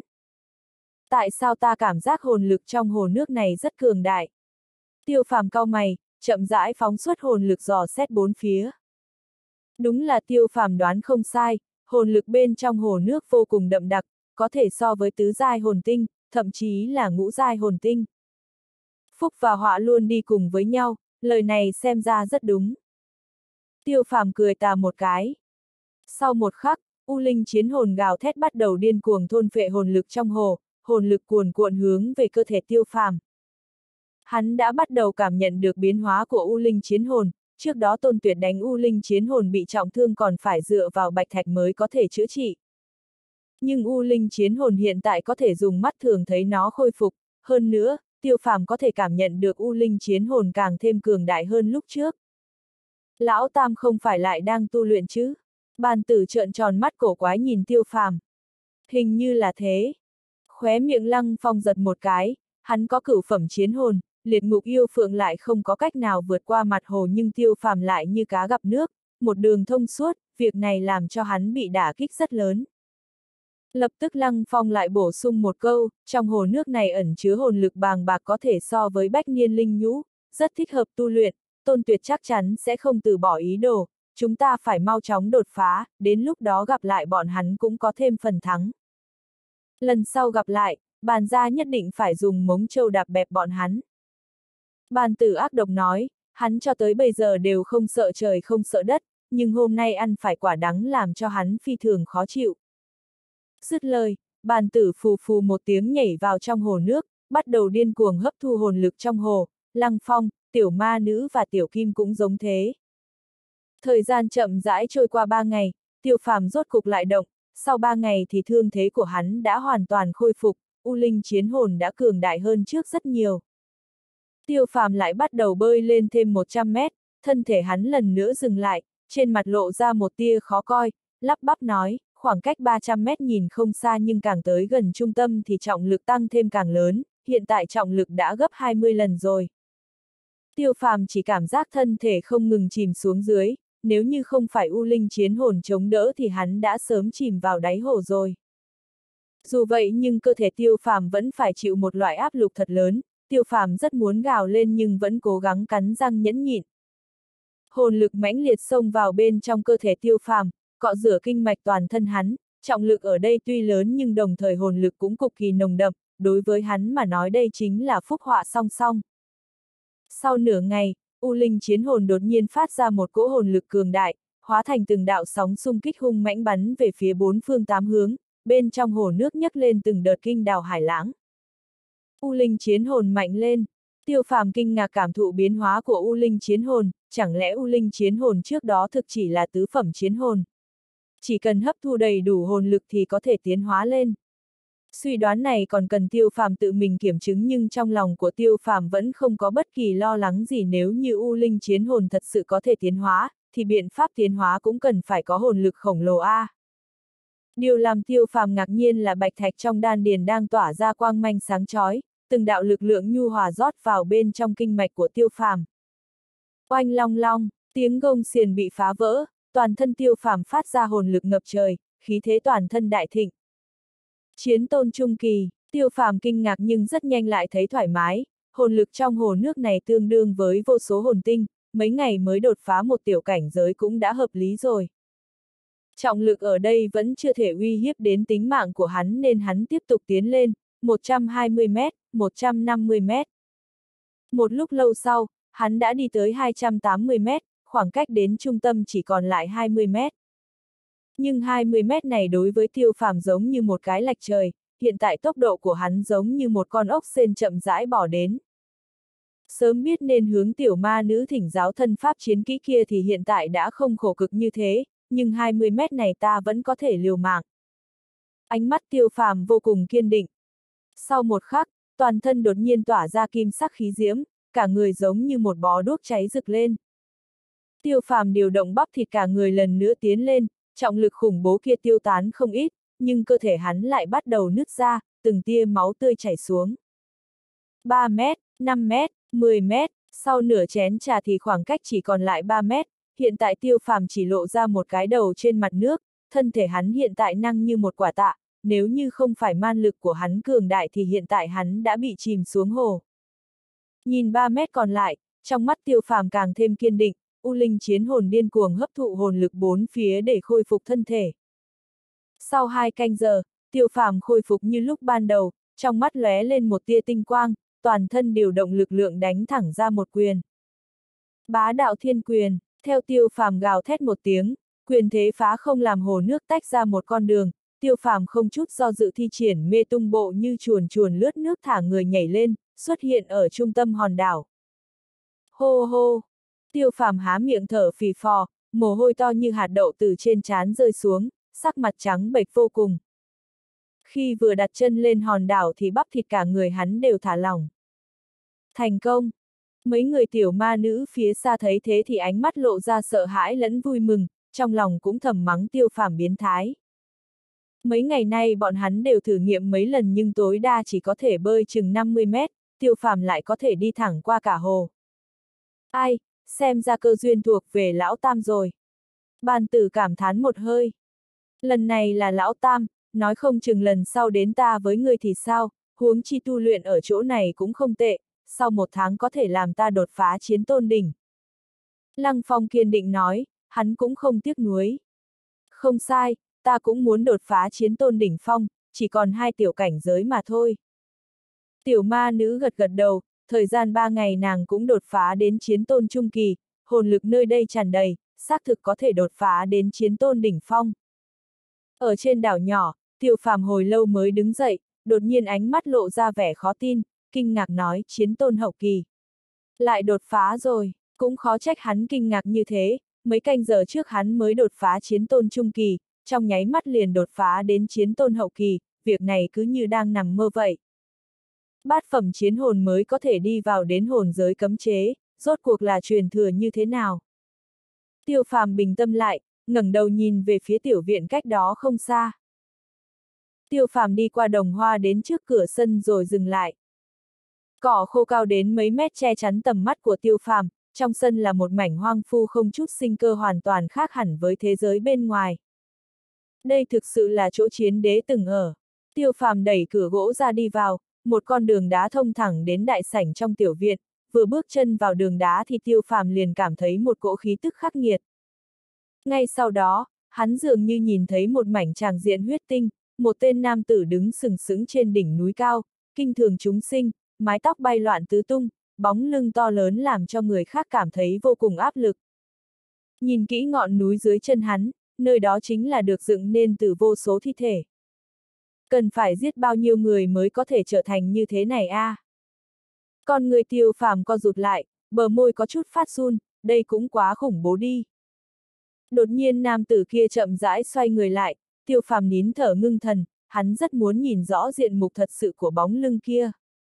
Nhưng nam tử vẫn chưa hoàn toàn quay đầu, vẻn vẹn chỉ là một bên mặt, tiêu phàm nhìn thấy rõ ràng khóe miệng của hắn xuất hiện một nụ cười quỷ dị. Phốc, còn chưa kịp nhìn thấy diện mạo của nam tử thì tiêu phàm bỗng nhiên phun ra một ngụm máu tươi, tỉnh lại. Chuyện gì xảy ra? Tiêu phàm lắc lắc cái đầu, cảm giác đầu rất đau, hắn cố làm bản thân mình bình tĩnh lại nhìn về phía đại môn đang đóng kia, hít sâu một hơi vẫn quyết định tiến vào. Két một tiếng, cửa gỗ mở ra, một cỗ cuồng phong huyết sắc từ trong nhà sộc tới, trong cuồng phong sen lẫn từng tia hàn khí lạnh thấu xương, thân thể tiêu phàm đột nhiên ngốc trệ tại chỗ run cầm cập. Lạnh quá! Toàn thân tiêu phàm run một cái, răng không ngừng cạp cạp vào nhau, thân thể đông kết lại một tầng băng hàn. Chỉ một thoáng, hai đạo quang mang một đen một vàng từ trong cơ thể tiêu phàm xông ra, u linh chiến hồn lơ lửng trên đỉnh đầu, vô tận chiến hồn từ bên trong đốt cháy thân thể. Hàn băng trong nháy mắt hòa tan, một cỗ khí tức ấm áp truyền khắp kinh mạch toàn thân tiêu phàm. Khi tiêu phàm tỉnh lại, ánh mắt đột nhiên rơi vào bên trên một tảng đá đen đặt giữa căn phòng, trên tảng đá đen kia có cắm một cây trường kiếm màu đỏ. Xung quanh huyết sắc trường kiếm có từng đợt xương máu đang lượn lờ, tiêu phàm trong nháy mắt hiểu ra, huyễn cảnh mà hắn lúc trước thấy được chính là do huyết kiếm này truyền tới. Thần binh thật khủng bố. Tiêu phàm hít sâu, trong mắt lóe lên một tia tham lam nhưng rất nhanh đã bình tĩnh lại, kiếm này có thể khiến người khác rơi vào huyễn cảnh thì làm sao có thể đơn giản. Nhưng đã đến được tới đây rồi mà tay không rời khỏi thì có chút không cam tâm a. À. Lên thử một chút, nếu có gì bất thường thì rời đi cũng không muộn. Tiêu phàm trong lòng quyết định nói, sau đó đi từng bước một về phía huyết sắc trường kiếm. Khi đi đến cách huyết kiếm còn ba bước thì tiêu phàm nhìn thấy trên thân kiếm có khắc hai chữ tu la. Tu la kiếm, tiêu phàm kinh ngạc, hắn biết rõ hai từ tu la là gì, đây căn bản là dại danh từ dùng cho chém giết và huyết tinh. Chỉ nhìn danh tự hắn liền biết tu la kiếm này khẳng định rất đáng sợ, lại nghĩ đến tràng cảnh lúc trước thì tiêu phàm không khỏi run lên một cái, trong lòng có chút chần chờ. Thôi, lấy được kiếm này chưa chắc là chuyện tốt. Tiêu phàm thán một hơi quay người liền chuẩn bị rời đi. Nhưng đúng lúc này đột nhiên xảy ra dị biến, chỉ thấy tu la kiếm đột nhiên tản mát ra từng đạo huyết sắc quang mang bao phủ tiêu phàm, thần sắc tiêu phàm run lên, thân thể hắn giống như đã bị khống chế, hắn quay người đưa tay phải ra hướng về tu la kiếm chụp tới. Khuôn mặt tiêu phàm lộ vẻ dữ tợn, hai mắt đỏ bừng muốn tránh thoát loại trói buộc kia, tay phải run không ngừng nhưng trung quy vẫn không dừng lại. Tu la kiếm tựa như cũng cảm nhận được tiêu phàm đang dãy ruộng, sương mù màu máu lần nữa nồng đậm lên mấy phần, muốn triệt để chinh phục tiêu phàm. Kiếm, cuối cùng chỉ là vật chết, tiêu phàm ta làm sao có thể bị ngươi khống chế. Tiêu phàm cười lạnh, bỗng nhiên U Linh chiến hồn và vô tận chiến hồn đồng thời xuất hiện, hai cỗ hồn lực to lớn hướng về Tu La kiếm nghiền ép đến. Hô hô, trong phòng cuồng phong gào thét, U Linh chiến hồn vậy mà không ngừng hấp thu lấy huyết sắc sương mù của Tu La kiếm, tốc độ giống như rồng hút nước vô cùng kinh người. Tu La kiếm giống như nhìn thấy sự tình vô cùng khủng bố liền bắt đầu điên cuồng run run, đáng tiếc tiêu phàm không cho nó cơ hội nào, điên cuồng hấp thu huyết xương của nó. Thời gian khoảng nửa chén trà nhỏ, tiêu phàm rốt cục nhìn thấy tu la kiếm đình chỉ dẫy ruộng, toàn thân xích hồng như máu, so với lúc trước đã bớt đi khí thế tàn ác cuồng bạo, nhưng sát phạt chi khí vẫn như cũ không hề tuyên giảm. 3. Sau nửa ngày, tiêu phàm nắm tu la kiếm trong tay, híp hai mắt nói, kiếm là kiếm tốt, hủy cũng đáng tiếc, đúng lúc ta còn thiếu một kiện thần binh. Hắn vung tu la kiếm trong tay lên một cái, từng đạo kiếm khí gào thét xuất ra ầm ầm đánh sụp cả tiểu viện. Cái này, tiêu phàm hoàn toàn ngốc trệ tại chỗ, tu la kiếm lại cường đại như thế, chỉ huy động một tia hồn lực đã có uy lực như thế này, uy lực như thế xem ra chỉ có bát phẩm thần binh hoặc cửu phẩm thần binh mới có thể đạt đến A. Trong lòng tiêu phàm cực kỳ vui sướng, U Linh chiến hồn có thể áp chế tu la kiếm làm lo lắng trong lòng của hắn tan biến hoàn toàn. Ánh mắt tiêu phàm bắt đầu tập trung vào tảng đá màu đen kia, bên dưới tảng đá có một bản thư tích cổ. Hắn nhìn cổ tịch một cái liền sáng mắt lên, hắn lập tức mở cổ tịch ra liền phát hiện đây là một bản chiến kỹ. Nhìn sơ qua một cái thì chiến kỹ này có ba đại kiếm chiêu nhưng không hề có bất kỳ văn tự nào mà chỉ toàn là hình vẽ. Nhưng tiêu phàm cũng không thất vọng, đan điền hắn điều động ra vô tận chiến điển thì những hình ảnh kia liền bắt đầu chuyển động, trước mắt hắn có một cái bóng mở đang bắt đầu diễn luyện. Tiêu phàm tập trung tinh thần nhìn chăm chú sợ bỏ lỡ cái gì, sau nửa ngày, thân thể tiêu phàm cũng động theo bóng mở kia, hắn bắt đầu tiến vào một loại trạng thái kỳ diệu. Thời gian trôi qua không biết bao lâu, đám người tiểu ma nữ trên bờ hồ có chút lo lắng. Lão Tam đang làm cái gì, không phải đã chúng ta đi, cua tay múa chân cả một tháng rồi, không lẽ hắn thật sự nhận được truyền thừa của chiến đế? Bàn tử bĩu môi, bọn hắn rất muốn đi tới đánh thức tiêu phàm nhưng bọn vẫn căn bản không thể nào đi qua hồ nước kia được. Nhìn bộ dạng của hắn giống như đang tu luyện một loại chiến kỹ nào đó đã tiến vào cảnh giới vong ngã. Lăng Phong híp hai mắt đầy vẻ hâm mộ. Nhưng chuyến này chúng ta cũng không uổng phí, nếu bây giờ gặp lại tên khốn tôn tuyệt kia thì bàn ra nhất định sẽ đẻ bẹp hắn. Bàn tử hung ác nói. Sau một tháng thì tất cả bọn họ đã đột phá lên cảnh giới chiến tôn hậu kỳ, khoảng cách lăng phong đến chiến tôn đỉnh phong cũng chỉ còn một bước. Chúng ta cũng không nên lãng phí thời gian, trước khi hắn tỉnh lại ta muốn đột phá lên chiến tôn đỉnh. Lăng phong để lại một câu nói lần nữa nhảy vào trong hồ nước. Hòn đảo trung tâm mấy ngày sau, tiêu phàm rốt cục dừng lại, lắp bắp nói, tam đại kiếm chiêu, kiếm sau bá đạo hơn kiếm trước, một kiếm mạnh hơn một kiếm, đáng tiếc ta chỉ vẻn vẹn lĩnh ngộ đệ nhất kiếm, huyết sát, mà đệ nhị kiếm, đồ lục và đệ tam kiếm, diệt thần quá mức huyền diệu, chỉ có thể mô phỏng thô sơ giản lược quý thích của chúng, đoán chừng ngay cả chiến vương cảnh cũng chưa chắc có thể lĩnh ngộ, bất quá một kiếm này cũng đủ để ta xưng bá trong chiến tôn cảnh rồi. Tiêu phàm hít sâu, trong mắt lóe lên thần sắc hài lòng, sau đó ngẩng đầu nhìn mấy người tiểu ma nữ phía xa, thầm nói Yến Thành thu liệp, tiêu phàm ta đến đây. Tiêu phàm tu luyện trong hồ mấy ngày nay cũng triệt để củng cố tu vi lại, lúc này mấy người tiểu ma nữ cũng từ trong nhập định tỉnh lại. Tất cả mọi người đều đột phá. Tiêu phàm cười cười, thời gian hơn một tháng, bàn tử, tiểu ma nữ và tiểu kim đều đột phá đến chiến tôn hậu kỳ, mà lăng phong mấy ngày nay cũng đã bước vào cảnh giới chiến tôn đỉnh phong. Lấy thực lực của mấy người cũng đã đủ khả năng tự vệ rồi. Lão Tam, mau thành thật khai báo ngươi lấy được chỗ tốt gì. Bàn tử một mặt không phục nhìn chằm chằm tiêu phàm. Không có gì, chỉ là một kiện thần binh cùng một loại chiến kỹ mà thôi. Tiêu phàm nhún nhún vai không giấu giếm mấy người. Mặc dù được tu la kiếm và chiến kỹ vô danh đã để tiêu phàm hết sức hài lòng nhưng vẫn có chút thất lạc, dù sao hắn vẫn hướng về truyền thừa của chiến đế A. Không đợi mấy người phản ứng, tiêu phàm trực tiếp đem chiến kỹ và tu la kiếm lấy ra, đám người tiếp nhận chiến kỹ liền ngu ngu nhìn, bọn họ chẳng hiểu một chút gì cả.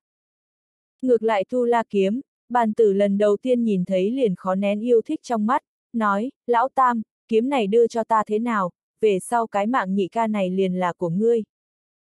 Tiêu phàm bĩu môi, bàn tử có thể nói thẳng mình muốn tu la kiếm ngược lại làm trong lòng tiêu phàm nổi lên một tia ấm áp, bởi vì hắn quả thật coi mình là huynh đệ. Bất quá tu la kiếm dễ dàng không chế như vậy sao? Chỉ cần ngươi có thể sử dụng nó thì ta có thể cho ngươi. Tiêu phàm cười cười, hắn không tiện cự tuyệt, chỉ có thể để bàn tử biết khó mà lui. Thực sự, bàn tử lập tức ma quyền sát trưởng, nước bọt kém chút chảy ra, hắn vốn là chú tạo sư nên đối với thần binh liền có một sự yêu thích phát ra từ nội tâm. Tuyệt không hai lời. Tiêu phàm trực tiếp đem tu la kiếm cắm trên mặt đất. Bàn tử thấy thế lập tức hưng phấn lên, tay phải hướng về tu la kiếm chộp tới, khi tay hắn chỉ cách tu la kiếm một tấc thì một đạo kiếm khí màu đỏ ngầu từ trên lưỡi kiếm gào thét bắn ra. Nói thì chậm nhưng khi đó lại rất nhanh, bàn tử ngay lập tức thu hồi bàn tay, thân thể đột nhiên cấp tốc lui về phía sau. Nhưng dù thế vẫn chậm nửa nhịp, lòng bàn tay bị kiếm khí xuyên thủng, máu tươi phun ra dọa bàn tử đến đặt mông ngồi bệch dưới đất, kinh hãi nhìn chằm chằm tu la kiếm. Sát phạt chi khí thật kinh khủng, con người lăng phong co rụt lại, thân hình không tự giác lui ra phía sau mấy bước, tiểu ma nữ cũng bị dọa đến hoa dung thất sắc, tiểu kim gầm thét, toàn thân lông tóc lóe sáng. Kiếm này không có duyên với ta. Bàn tử hồi lâu mới hồi phục tinh thần, cảm thán một hơi. Lão Tam, kiếm này đoán chừng không đơn giản, tốt nhất đừng tùy tiện hiển lộ trước người khác. Lăng phong cau mày nhìn chằm chằm tu la kiếm nói. Được.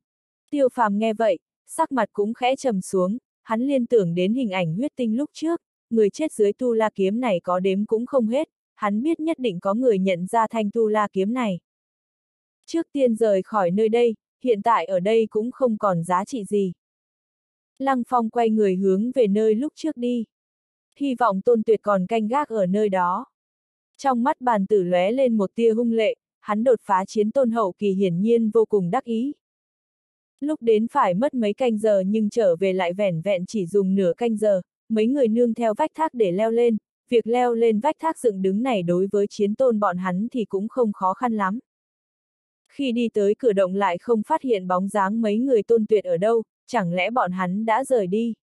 Mấy người phóng xuất chiến hồn xuyên qua thác nước, trong nháy mắt xuất hiện ở cửa động, hồn lực thả ra vẫn không hề phát hiện bóng dáng một ai. Vậy mà không có ai. Bàn tử hừ lạnh một tiếng. Đã một tháng rồi, bọn hắn chắc chắn sẽ không ngây ngốc thủ ở chỗ này. Tiểu ma nữ nói. Tiêu phàm và Lăng Phong không nói, hai người nhìn nhau, đám tôn tuyệt không có ở đây cũng không chắc chắn hắn đã rời đi. Dù sao nếu chặn bọn hắn ở chỗ này thì bọn hắn vẫn có thể tiến vào bên trong hồn giới cấm chế. Mọi người cẩn thận một chút.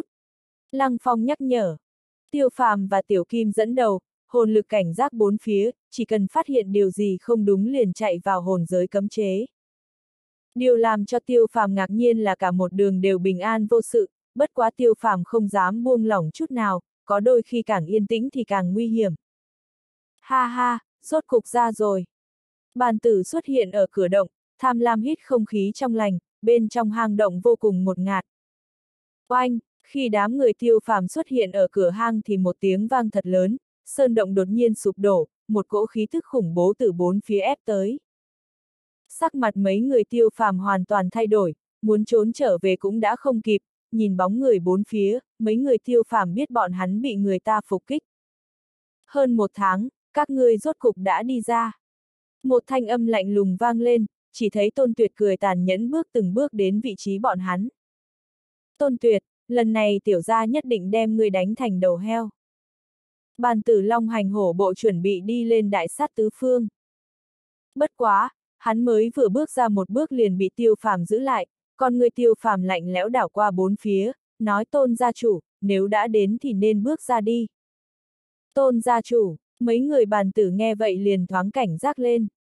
Tôn đình vậy mà cũng tới, mấy người bọn họ mặc dù đột phá đến chiến tôn hậu kỳ và đỉnh phong nhưng tôn đình là chiến vương cảnh A, bọn hắn ở trước mặt chiến vương đều giống như con kiến. Quả nhiên, tiêu phàm vừa dứt lời thì một đạo thân ảnh từ trong rừng đi tới, trên mặt hắn cười lạnh nhìn chằm chằm tiêu phàm, ý vị thâm trường nói, trong đám tiểu bối thì ngươi chính là người duy nhất để bản vương lao mắt mà nhìn, chỉ cần ngươi đem đồ vật giao ra rồi gia nhập vào tôn gia ta thì bản vương sẽ bỏ qua tất cả chuyện cũ. Tiêu phàm coi thường, nếu lời nói của tôn đình đáng tin thì cũng không có chém chém giết giết đến tận bây giờ. Nếu quả thật đem đồ vật giao cho hắn thì mình chết càng nhanh, bất quá, hắn cũng biết đám người bọn hắn không thể thoát liền dứt khoát ác tâm nhìn Tôn Đình nói, ngay cả mối thủ giết con cũng không truy cứu. Vừa nghe những lời của tiêu phàm, trong mắt Tôn Đình lóe lên sát khí nồng đậm nhưng rất nhanh liền biến mất, nói, không truy cứu. Tiêu phàm ngoài ý muốn, tên Tôn Đình này đúng là có thể ẩn nhẫn, lại nói, vậy nếu như ta muốn giết tên nhi tử còn lại của ngươi thì sao? Ngươi đang đùa giỡn bản vương. Tôn Đình tối sầm mặt lại, hắn lúc này sao không biết tiêu phàm đang trêu đùa mình. Không phải ngươi cũng đang đùa giỡn chúng ta sao? Thần sắc tiêu phàm băng lãnh, có lẽ ở trong mắt tôn đình thì kẻ yếu không có bất kỳ tôn nghiêm nào, nhưng ở trong mắt tiêu phàm, cái chết không đang sợ, đáng sợ là ngay cả dũng khí đối mặt với cường giả đều không có. Hừ, nếu như các ngươi đã muốn chết vậy cũng đừng trách bản vương, dù gì giết các ngươi xong thì đồ vật cũng thuộc về bản vương. Vừa dứt lời, khí thế trên người tôn đình phát ra bên trong còn có lôi điện thoát ẩn thoát hiện, từng tia lôi điện vang lên tiếng lốp bốp vô cùng chói tai. Bốn người một thú tiêu phàm lưng tựa lưng vào nhau cảnh giác bốn phía, cho dù có chết đi nữa thì nhất định cũng không đứng yên cho người ta giết. Đường đường là chiến vương cảnh lại xuất thủ với mấy hậu bối, điều này cũng quá mất mặt nha. Đột nhiên, một âm thanh không nóng không lạnh vang lên trong hư không. Thân thể đám người dừng lại nhìn về nơi phát ra tiếng nói, trên một gốc cổ thụ to lớn có một lão giả khô gầy đang đứng, thân thể lung la lung lây giống như bất cứ lúc nào cũng có thể bị gió thổi bay, nhưng ánh mắt lão giả lại phát ra quang mang sắc bén hữu thần. Phúc bá, bàn tử kêu to, vui mừng đến mức mém chút chảy cả nước mắt. Tiêu phàm, lăng phong và tiểu ma nữ cũng vô cùng kinh hỉ, nhưng vừa thấy cơn gió thổi qua thì thân hình của Phúc bá lại lung lay muốn ngã thì niềm vui kia tan thành bọt biển. Từ khi nào mà một tên quản gia của thần phong học viện lại dám đối địch với tôn gia ta? Không đợi tôn đình mở miệng, tôn tuyệt đã đầy vẻ khinh thường nhìn Phúc bá nói. Phúc bá tức giận, nói trong lúc trưởng bối nói chuyện làm gì có chỗ để cho một tên tiểu bối như ngươi chen vào, đúng lúc có thể trước mặt phụ thân ngươi thay hắn giáo huấn ngươi một chút. Vừa dứt lời, tôn đình trong nháy mắt xuất hiện ở trước người tôn tuyệt, khuôn mặt cực kỳ căng thẳng đề phòng nhìn Phúc bá. Răng rác, một loạt âm thanh nứt xương truyền tới, sau một khắc, tất cả mọi người đều ngốc trệ tại chỗ, bàn tử đang kích động lập tức nuốt nước mắt trở về. Chỉ thấy Phúc bá còng lưng lại, một tay chống nạnh, mồ hôi lớn chừng hạt đậu lăn xuống, trên mặt lộ ra vẻ thống khổ, nói, đau, đau, đau, ai, già rồi, eo không chịu được nữa rồi. Nguyên bản đám người còn tưởng rằng Phúc Bá sẽ đại phát hùng uy, nhưng nào ngờ một tên tu sĩ vậy mà còn bị đau lưng.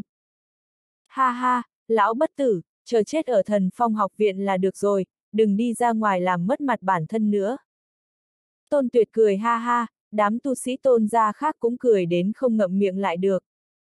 Khóe miệng tôn đình nhếch lên cười, lần trước bị quách sĩ thần khi nhục làm hắn triệt để mất hết mặt mũi, hôm nay có thể đem mặt mũi tìm về, hắn tự nhiên rất vui. Cơ mặt mấy người tiêu phàm giật giật vài cái, phúc bá quả thật đến cứu bọn họ sao? Ba, không đợi đám người lấy lại tinh thần thì một tiếng vang giòn truyền ra, tất cả mọi người đều chừng mắt nhìn về phía xa, chỉ thấy tôn tuyệt đột nhiên bay ngược về sau, trong miệng hộc ra một đường máu dài, bên trong vũng máu còn mơ hồ thấy được vài cái răng. Thân thể đâm gãy mười mấy cây đại thụ mới dừng lại trượt dài xuống đất. Mà chỗ tôn tuyệt đứng lại xuất hiện một thân ảnh khô gầy. Việc này, đám người trợn tròn mắt, đây là lão già bị đau thắt lưng khi nãy sao? Tại sao lại khủng bố như vậy, căn bản không thèm nhìn tôn đình một cái. Mạnh quá! Lăng Phong và Tiêu Phàm lấy lại tinh thần, ực ực nuốt nước bọt hít vào một ngụm khí lạnh. Tôn Đình ngốc trệ tại chỗ, trong lúc nhất thời không biết xuất thủ như thế nào, tốc độ mà Phúc Bá vừa mới thể hiện hắn tuyệt không phải là đối thủ, nhưng nếu không xuất thủ thì mặt mũi tôn ra biết để chỗ nào. Các hạ, con trai của ta còn chưa tới phiên ngươi đến giáo huấn. Tôn Đình nhìn chằm chằm Phúc Bá nói, trong lòng không ngừng trầm ngâm phân tích thực lực Phúc Bá. Nhưng Phúc Bá căn bản chẳng thèm liếc mắt nhìn hắn, ngược lại nhìn mấy người tiêu phàm, mấy người các ngươi tiến vào thần phong học viện, ta còn chưa nói cho các ngươi biết một việc quan trọng, các ngươi có biết truyền thống của thần phong học viện là gì không?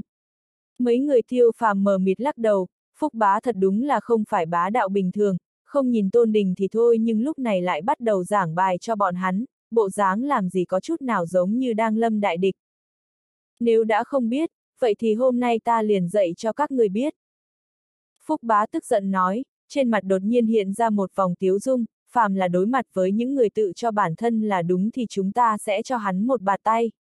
Ba, vừa dứt lời, Phúc bá lần nữa biến mất tại chỗ, âm thanh thanh thúy truyền đến, sau đó thì thân ảnh của Tôn Đình biến mất tại chỗ. Khi đám người lấy lại tinh thần thì nơi xa lại truyền đến từng đợt tiếng xé gió, từng tiếng ầm ầm do những cây cổ thụ bị đánh sập phát ra. Gia chủ bị đánh bay. Mấy người tôn ra hít vào một ngụm hàn khí. Gia chủ là chiến vương cảnh A, hắn lại bị một lão bất tử gần đất xa trời đánh bay không có sức hoàn thủ. Thực lực của Phúc Bá rốt cục đã đạt đến cảnh giới nào rồi? Mấy người tiêu phàm còn tưởng mình đang nằm mơ, thực lực quách sĩ thần cường đại cũng có thể hiểu nhưng Phúc Bá bình thường không lộ diện làm sao cũng cường đại như thế. Ngay cả chiến vương cảnh cũng bị một tát đánh bay vậy thực lực của hắn chẳng phải đã vô địch trong cảnh giới chiến vương rồi sao? Thậm chí còn có thể đã đạt đến cấp bậc chiến hoàng. Đây chính là truyền thống của thần phong học viện, các người đã nhớ chưa? Phúc bá không mặn không nhạt nhìn bọn tiêu phàm, mặc dù nhìn qua như một cành cây khô nhưng cỗ sắc bén chi khí trong mắt hắn lại giống như một đầu mãnh hổ xuất chuồng. Đã nhớ, một đám gà con đang gật đầu như mổ thóc, mấy người bọn hắn hoàn toàn bị thực lực Phúc Bá làm cho chấn kinh. Phúc Bá hài lòng gật gật đầu, lại nói, nếu đã nhớ vậy thì lập tức thực hành đi. Hề, mấy người tiêu phàm trong lúc nhất thời không lấy lại tinh thần nhưng thân hình của bàn tử lại lóe lên hướng về vị trí của tên tôn tuyệt vọt đến. Ba ba ba, một loạt tiếng tát tay vang lên, khóe miệng đám người giật một cái, tên bàn tử này ra tay quá ác, đây là đại thù lớn cỡ nào, đường đường là nhị thiếu ra lại đang bị người ta đánh liên tục. Làm sao, mấy người các ngươi còn chưa hiểu sao? Phúc bá hài lòng nhìn bàn tử sau đó ánh mắt quét về phía mấy người còn lại. Mấy người run một cái, nhao nhao hướng về đám người tôn ra bốn phía đánh tới, vừa đúng lúc có thể thử nghiệm thực lực mới đột phá. Không bao lâu, trong rừng truyền đến một trận binh, binh, vang vọng toàn bộ sơn lâm, tôn đình không chạy thì bọn chúng làm sao dám rời khỏi. Ta đã nói ta sẽ đánh cho ngươi trở thành đầu heo.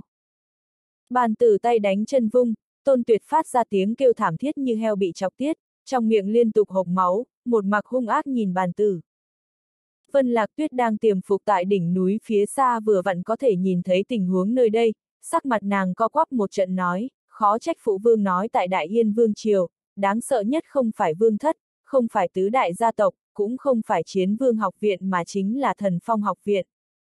Vân Lạc Tuyết cho tới bây giờ cũng không nghĩ tới thần phong học viện rách nát mấy trăm năm vẫn còn có cao thủ dạng này, một kích liền đánh tôn đình không có sức hoàn thủ. Nếu đi Hoàng Triều thì không khác gì bỏ gần cầu xa, ta nhất định phải nghĩ biện pháp để gia nhập thần phong học viện. Trong mắt Vân Lạc Tuyết lóe lên một tia kiên định, sau đó quay người biến mất. Thần phong học viện, các ngươi khinh người quá đáng. Âm thanh nổi giận của Tôn Đình vang lên, đường đường là chiến vương lại bị người ta một tát đánh bay, nếu sự tình này mà truyền ra ngoài thì mặt mũi hắn coi những chẳng còn lại một chút nào. khinh ngươi thì sao, nhưng Phúc Bá chỉ trả lời bá đạo một câu. Trong mắt Phúc Bá lóe lên sát khí lạnh như băng, Tôn Đình vừa mới xông lên lại trong nháy mắt thân hình khựng lại, giống như một con gà bị người ta bóp cổ vậy, sắc mặt hắn đỏ bừng lên. Cút, Phúc Bá quát lạnh một tiếng, thanh âm hóa thành một cỗ khí diễm ngập trời chấn động bốn phương tám hướng. Người tôn gia bị một cỗ hồn lực cuồn cuộn đánh bay không ngừng thổ huyết, tôn đình đứng mũi chịu sào, thân hình đứng không vững phải quỳ trên mặt đất, hai mắt đỏ ngầu giống như một con sói. Bá đạo, thống khoái, nhân sinh nên như vậy. Bàn tử kéo lê tôn tuyệt cả người bầm dập như con heo, cười ha ha sùng bái nhìn phúc bá.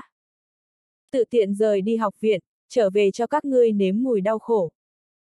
Phúc bá nói một câu làm đám người bàn tử trột dạ một cái, Phúc bá liếc mắt cả đám nói, theo ta trở về. Dứt lời liền không thèm nhìn đám người tôn ra một cái đã dẫn bọn tiêu phàm rời đi. Khi trở lại thần phong học viện đã là hai ngày sau, đám tiêu phàm không cách nào trốn được đợt trách phạt này, cấm túc ba ngày bên trong thần phong học viện, tu vi bị phong ấn, mỗi ngày phải chạy 500 vòng quanh thần phong học viện. Một chút trách phạt này không làm khó được bọn hắn, sau khi cả đám được luyện thể dịch tứ phẩm của tiêu phàm tẩy lễ qua thì thân thể đã đạt tới một cấp độ khủng bố. Sau ba ngày trách phạt thì đám tiêu phàm chuẩn bị đến duyệt lai lâu ăn lớn một bữa, nhưng lại bị trầm bá chặn lại. Chào lăng công tử, tiêu công tử. Trầm bá cười hì hì nhìn hai người, trong mắt đều là vẻ cung kính, sau đó vừa cười cười nhìn mấy người còn lại.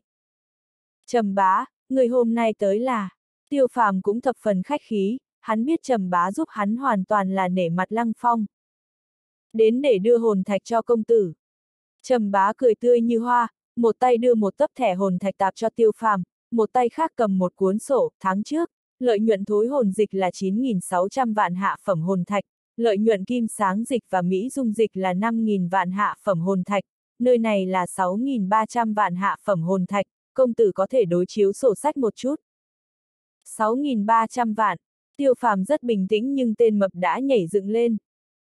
6.300 vạn, con số khổng lồ này chỉ là lợi luận trong vòng một tháng thôi. Tiểu ma nữ và lăng phong cũng trợn to hai mắt, ba loại dược dịch này nhất định đang dược tiền A, không, so với đi cướp còn nhanh hơn. Sổ sách cũng không cần so, làm phiền trầm bá đưa tới rồi. Tiêu phàm cũng hơi kinh ngạc, hắn không ngờ doanh thu của ba loại dược dịch kia lại cao như thế.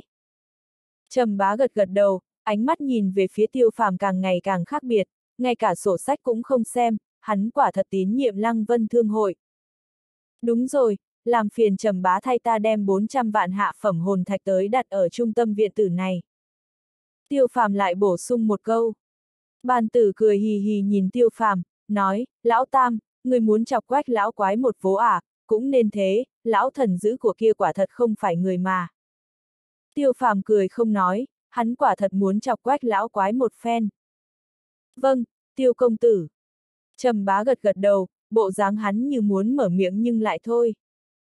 Trầm bá, có việc gì cứ nói thẳng đừng ngại. Tiêu phàm nói. Trầm bá do dự một chút, thở dài nói tiêu công tử cũng biết, dược hiệu thối hồn dịch đối với phần lớn tu sĩ mà nói rất quan trọng, người có chiến hồn phẩm cấp thấp muốn tăng lên hồn lực đều phải dựa vào ngoại lực, vừa lúc thối hồn dịch chính là một con đường tắt.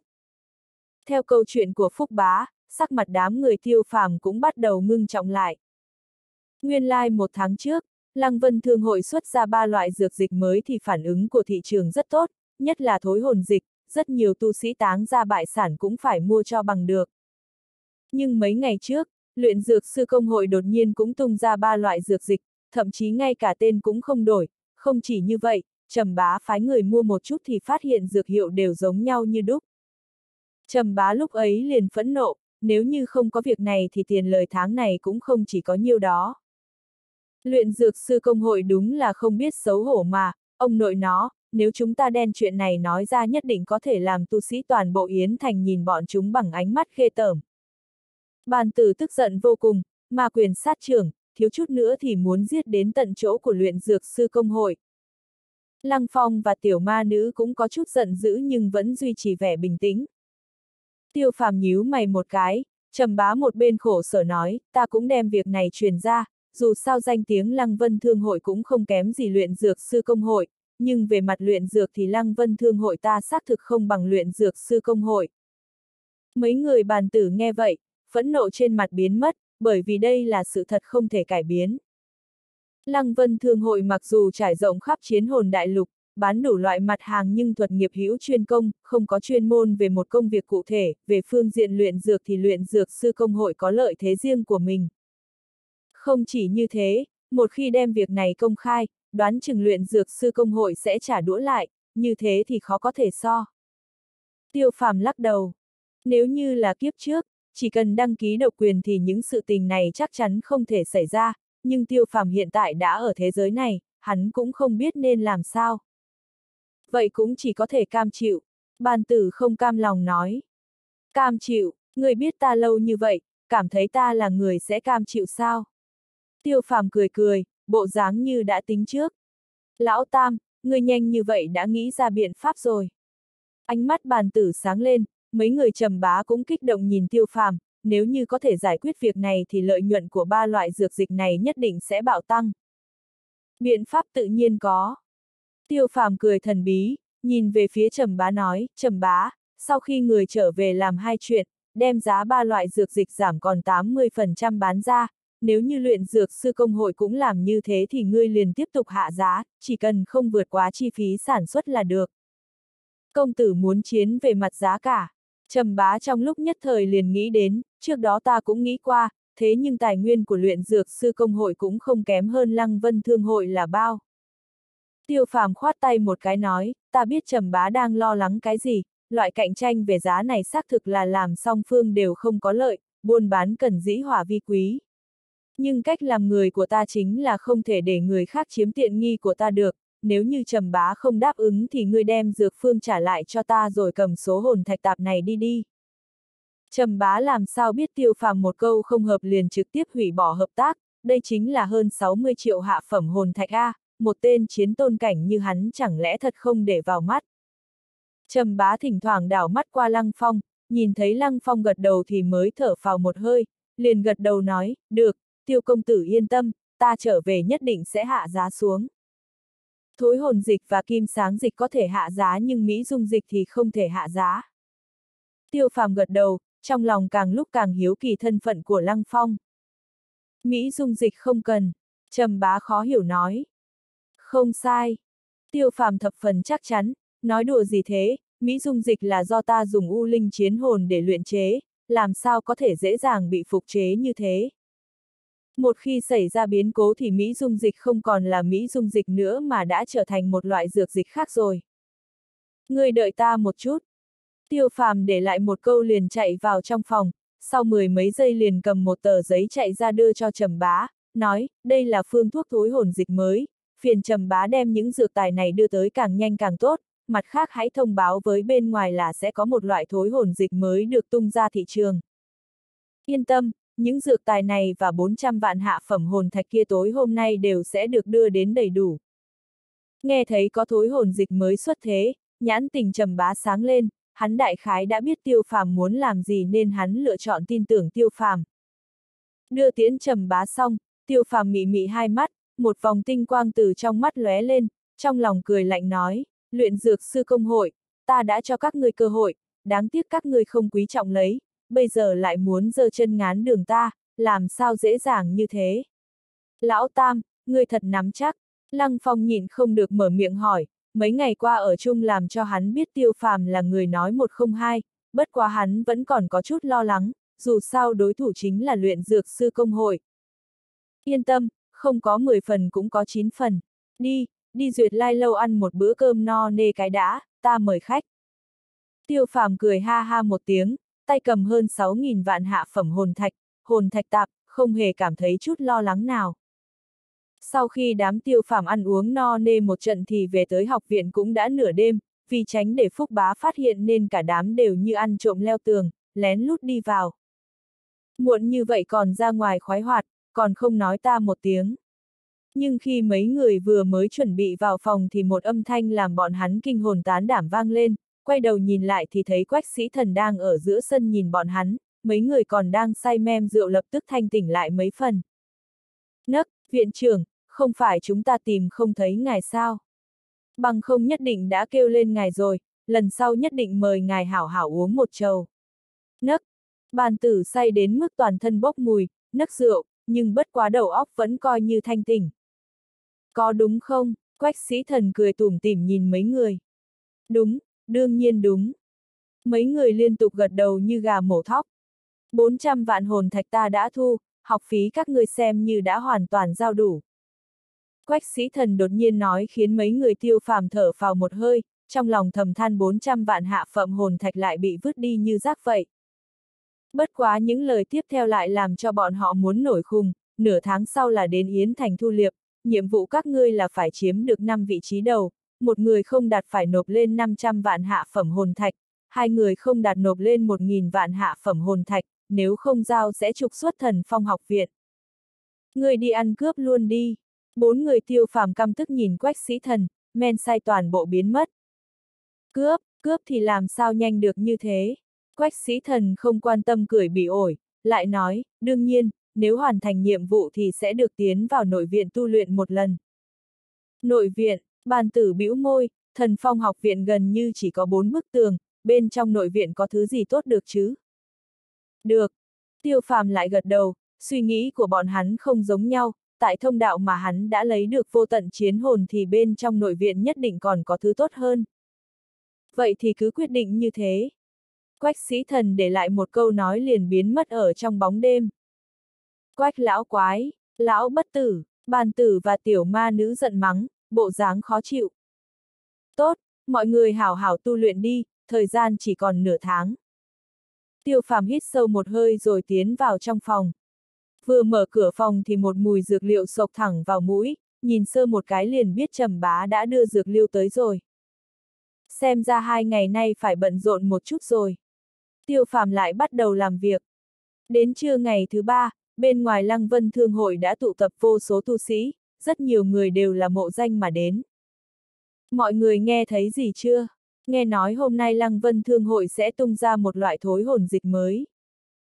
Đúng vậy, bởi vì xuất hiện thối hồn dịch mới nên thối hồn dịch cũ mới bị hạ giá xuống, nói đi nói lại, hiệu quả thối hồn dịch này quả thật làm tăng hồn lực lên mấy phần A, hiện tại mặc dù chỉ là chiến sư cảnh trung kỳ nhưng ta dám cùng chiến sư hậu kỳ đánh một trận, đoán chừng hiệu quả thối hồn dịch mới càng thêm lợi hại. Lăng Vân Thương hội tung ra thối hồn dịch mới, không biết luyện dược sư công hội có tung ra loại mới luôn hay không. Hiện tại thối hồn dịch của hai nhà đều đang hạ giá A. Bất kể như thế nào thì có loại thối hồn dịch mới đều là chuyện tốt đối với tu sĩ chúng ta, tốt nhất là hai nhà cạnh tranh lẫn nhau, đến lúc đó chúng ta liền có thể đỡ tốn hồn thạch để mua thối hồn dịch rồi. Một ngày này, đại bộ phận tu sĩ Hiến Thành đều tụ tập ở bên ngoài Lăng Vân Thương Hội, Trầm bá hôm trước thả ra tin tức đã sớm truyền khắp Yến Thành, tất cả mọi người đều vì thối hồn dịch mà đến. Luyện dược sư công hội cách Lăng Vân Thương hội cũng không quá xa, giờ phút này luyện dược sư công hội quạnh quẽ tới cực điểm, một nam tử trung niên mặc trường bào màu lam đứng ở cửa sổ lầu ba luyện dược sư công hội quan sát hết thảy sự tình đang diễn ra. Sau lưng nam tử trung niên có một người thanh niên dáng vẻ khôi ngô đang đứng, nếu như tiêu phàm ở đây, tự nhiên có thể nhận ra tên thanh niên này chính là Trương Hy mà lần trước đã gặp. Nam tử trung niên chính là Trương Nhiễm, luyện dược sư công hội phó hội trưởng đồng thời cũng là phụ thân của Trương Hy. Cha, Lăng Vân Thương hội muốn cùng chúng ta cá chết lưới rách sao? Trương Hy híp hai mắt nhìn phía xa nói. Trương Nhiễm hừ lạnh một tiếng, nói, đều là chuyện tốt ngươi làm, ta vốn tưởng ba loại dược vật kia chính là do ngươi kiếm được, không ngờ ngươi lại đoạt lấy đồ vật của Lăng Vân Thương hội. Trương Hy không quan tâm nói cha, cho dù là con trộm thì như thế nào. Người cũng biết thối hồn dịch mấy ngày nay đã kiếm được bao nhiêu hồn thạch. Chính là một nghìn vạn hạ phẩm hồn thạch, theo ta đoán thì Lăng Vân Thương hội còn bán được nhiều hơn thế. Huống chi, Lăng Vân Thương hội cũng không làm gì được chúng ta sao? Bọn họ chỉ có thể giảm giá xuống để đả kích chúng ta thôi. Trương Hy lại bổ sung một câu, cười vô cùng đắc ý. Nộ khí trên người Trương Nhiễm dần thu lại, lời của Trương Hy không giả, giá trị thối hồn dịch mang đến rất lớn, không nói kiếm tiền, chỉ riêng phần này cũng đủ để giữ chân tu sĩ ở lại luyện dược sư công hội rồi. Đến lúc đó lại đem thối hồn dịch cải tiến một chút để không giống như đúc dược dịch của Lăng Vân Thương hội, như thế thì sẽ càng có nhiều người đến mua sắm tại luyện dược sư công hội hơn. Hiện tại Lăng Vân Thương hội muốn tung ra thối hồn dịch mới, người có biện pháp gì? Trương Nhiễm hỏi. Bọn hắn tung ra thứ gì thì chúng ta cũng tung ra thứ đó, mấy ngày nay người của luyện dược sư công hội chúng ta đã tỉ mỉ nghiên cứu thành công, thối hồn dịch đã có thể tăng lên 8 phần công hiệu, ta không tin Lăng Vân Thương hội cũng có thể làm như thế, một chút nữa ta nhất định sẽ cho Lăng Vân Thương hội một cái bất ngờ thật lớn. Trương Hy tà tà cười nói. Trương Nhiễm gật gật đầu tán thành Trương Hy, nói ra tốt, có việc gì cứ đến thương lượng với ta, việc này tốt nhất đừng để tần hội trưởng biết. Cha yên tâm, Hải Nhi tuy không có bản lãnh gì nhưng chút bản sự ấy thì vẫn có. Trương Hy vỗ ngực bảo đảm nói, trong lòng lại bổ sung một câu, người bán thối hồn dịch chắc chắn chính là người tạo ra Mỹ dung dịch hôm trước, ta sẽ cho người biết đối đầu với ta sẽ có kết cục như thế nào. Giữa trưa, Lăng Vân Thương hội đã chật kín người nhưng bọn họ vẫn không thấy Lăng Phong Thương hội có động tĩnh gì. Chẳng lẽ Lăng Vân Thương hội đang gạt chúng ta? Thối hồn dịch mới chỉ là tin đồn giả. Lăng Vân Thương hội làm sao có thể gạt người, mọi người chờ xem, nhất định sẽ có thối hồn dịch mới, chỉ là không biết giá cả bao nhiêu mà thôi. Các người xem, trầm hội trưởng đi ra kìa. Đám người liên tục nghị luận ầm ý cả lên, một tiếng hô vang lên, toàn trường lập tức yên tĩnh hướng về đại môn nhìn lại, nơi đó trầm bá vào mấy người đang cùng nhau đi đến. Chư vị, đã để mọi người phải chờ lâu rồi, cảm ơn các vị đã ủng hộ Lăng Vân Thương hội chúng ta, thối hồn dịch mới được tung ra làm cho Lăng Vân Thương hội chúng ta phải vô cùng thận trọng, hiện tại thì tất cả mọi thứ đã chuẩn bị xong. Trầm bá tự tốn nói ra. Vừa dứt lời, từng đợt âm thanh khô chiêng gõ trống từ phương hướng luyện dược sư công hội truyền đến, đám người nhao nhao quay người nhìn lại chỉ thấy Trương Hy đang đứng ở đại môn luyện dược sư công hội, hắn cười tủm tỉm nhìn chằm chằm phương hướng của Lăng Vân Thương hội. Chư vị, hôm nay luyện dược sư công hội chúng ta cũng vừa vặn chuẩn bị đẩy ra một loại thối hồn dịch mới, chỉ là thấy mọi người tập trung ở Lăng Vân Thương hội nên chưa công bố tin tức này ra, hiện tại ta muốn giới thiệu cho mọi người biết một chút. Trương Hy lớn tiếng kêu lên. Cái gì, luyện dược sư công hội cũng tung ra một loại thối hồn dịch mới.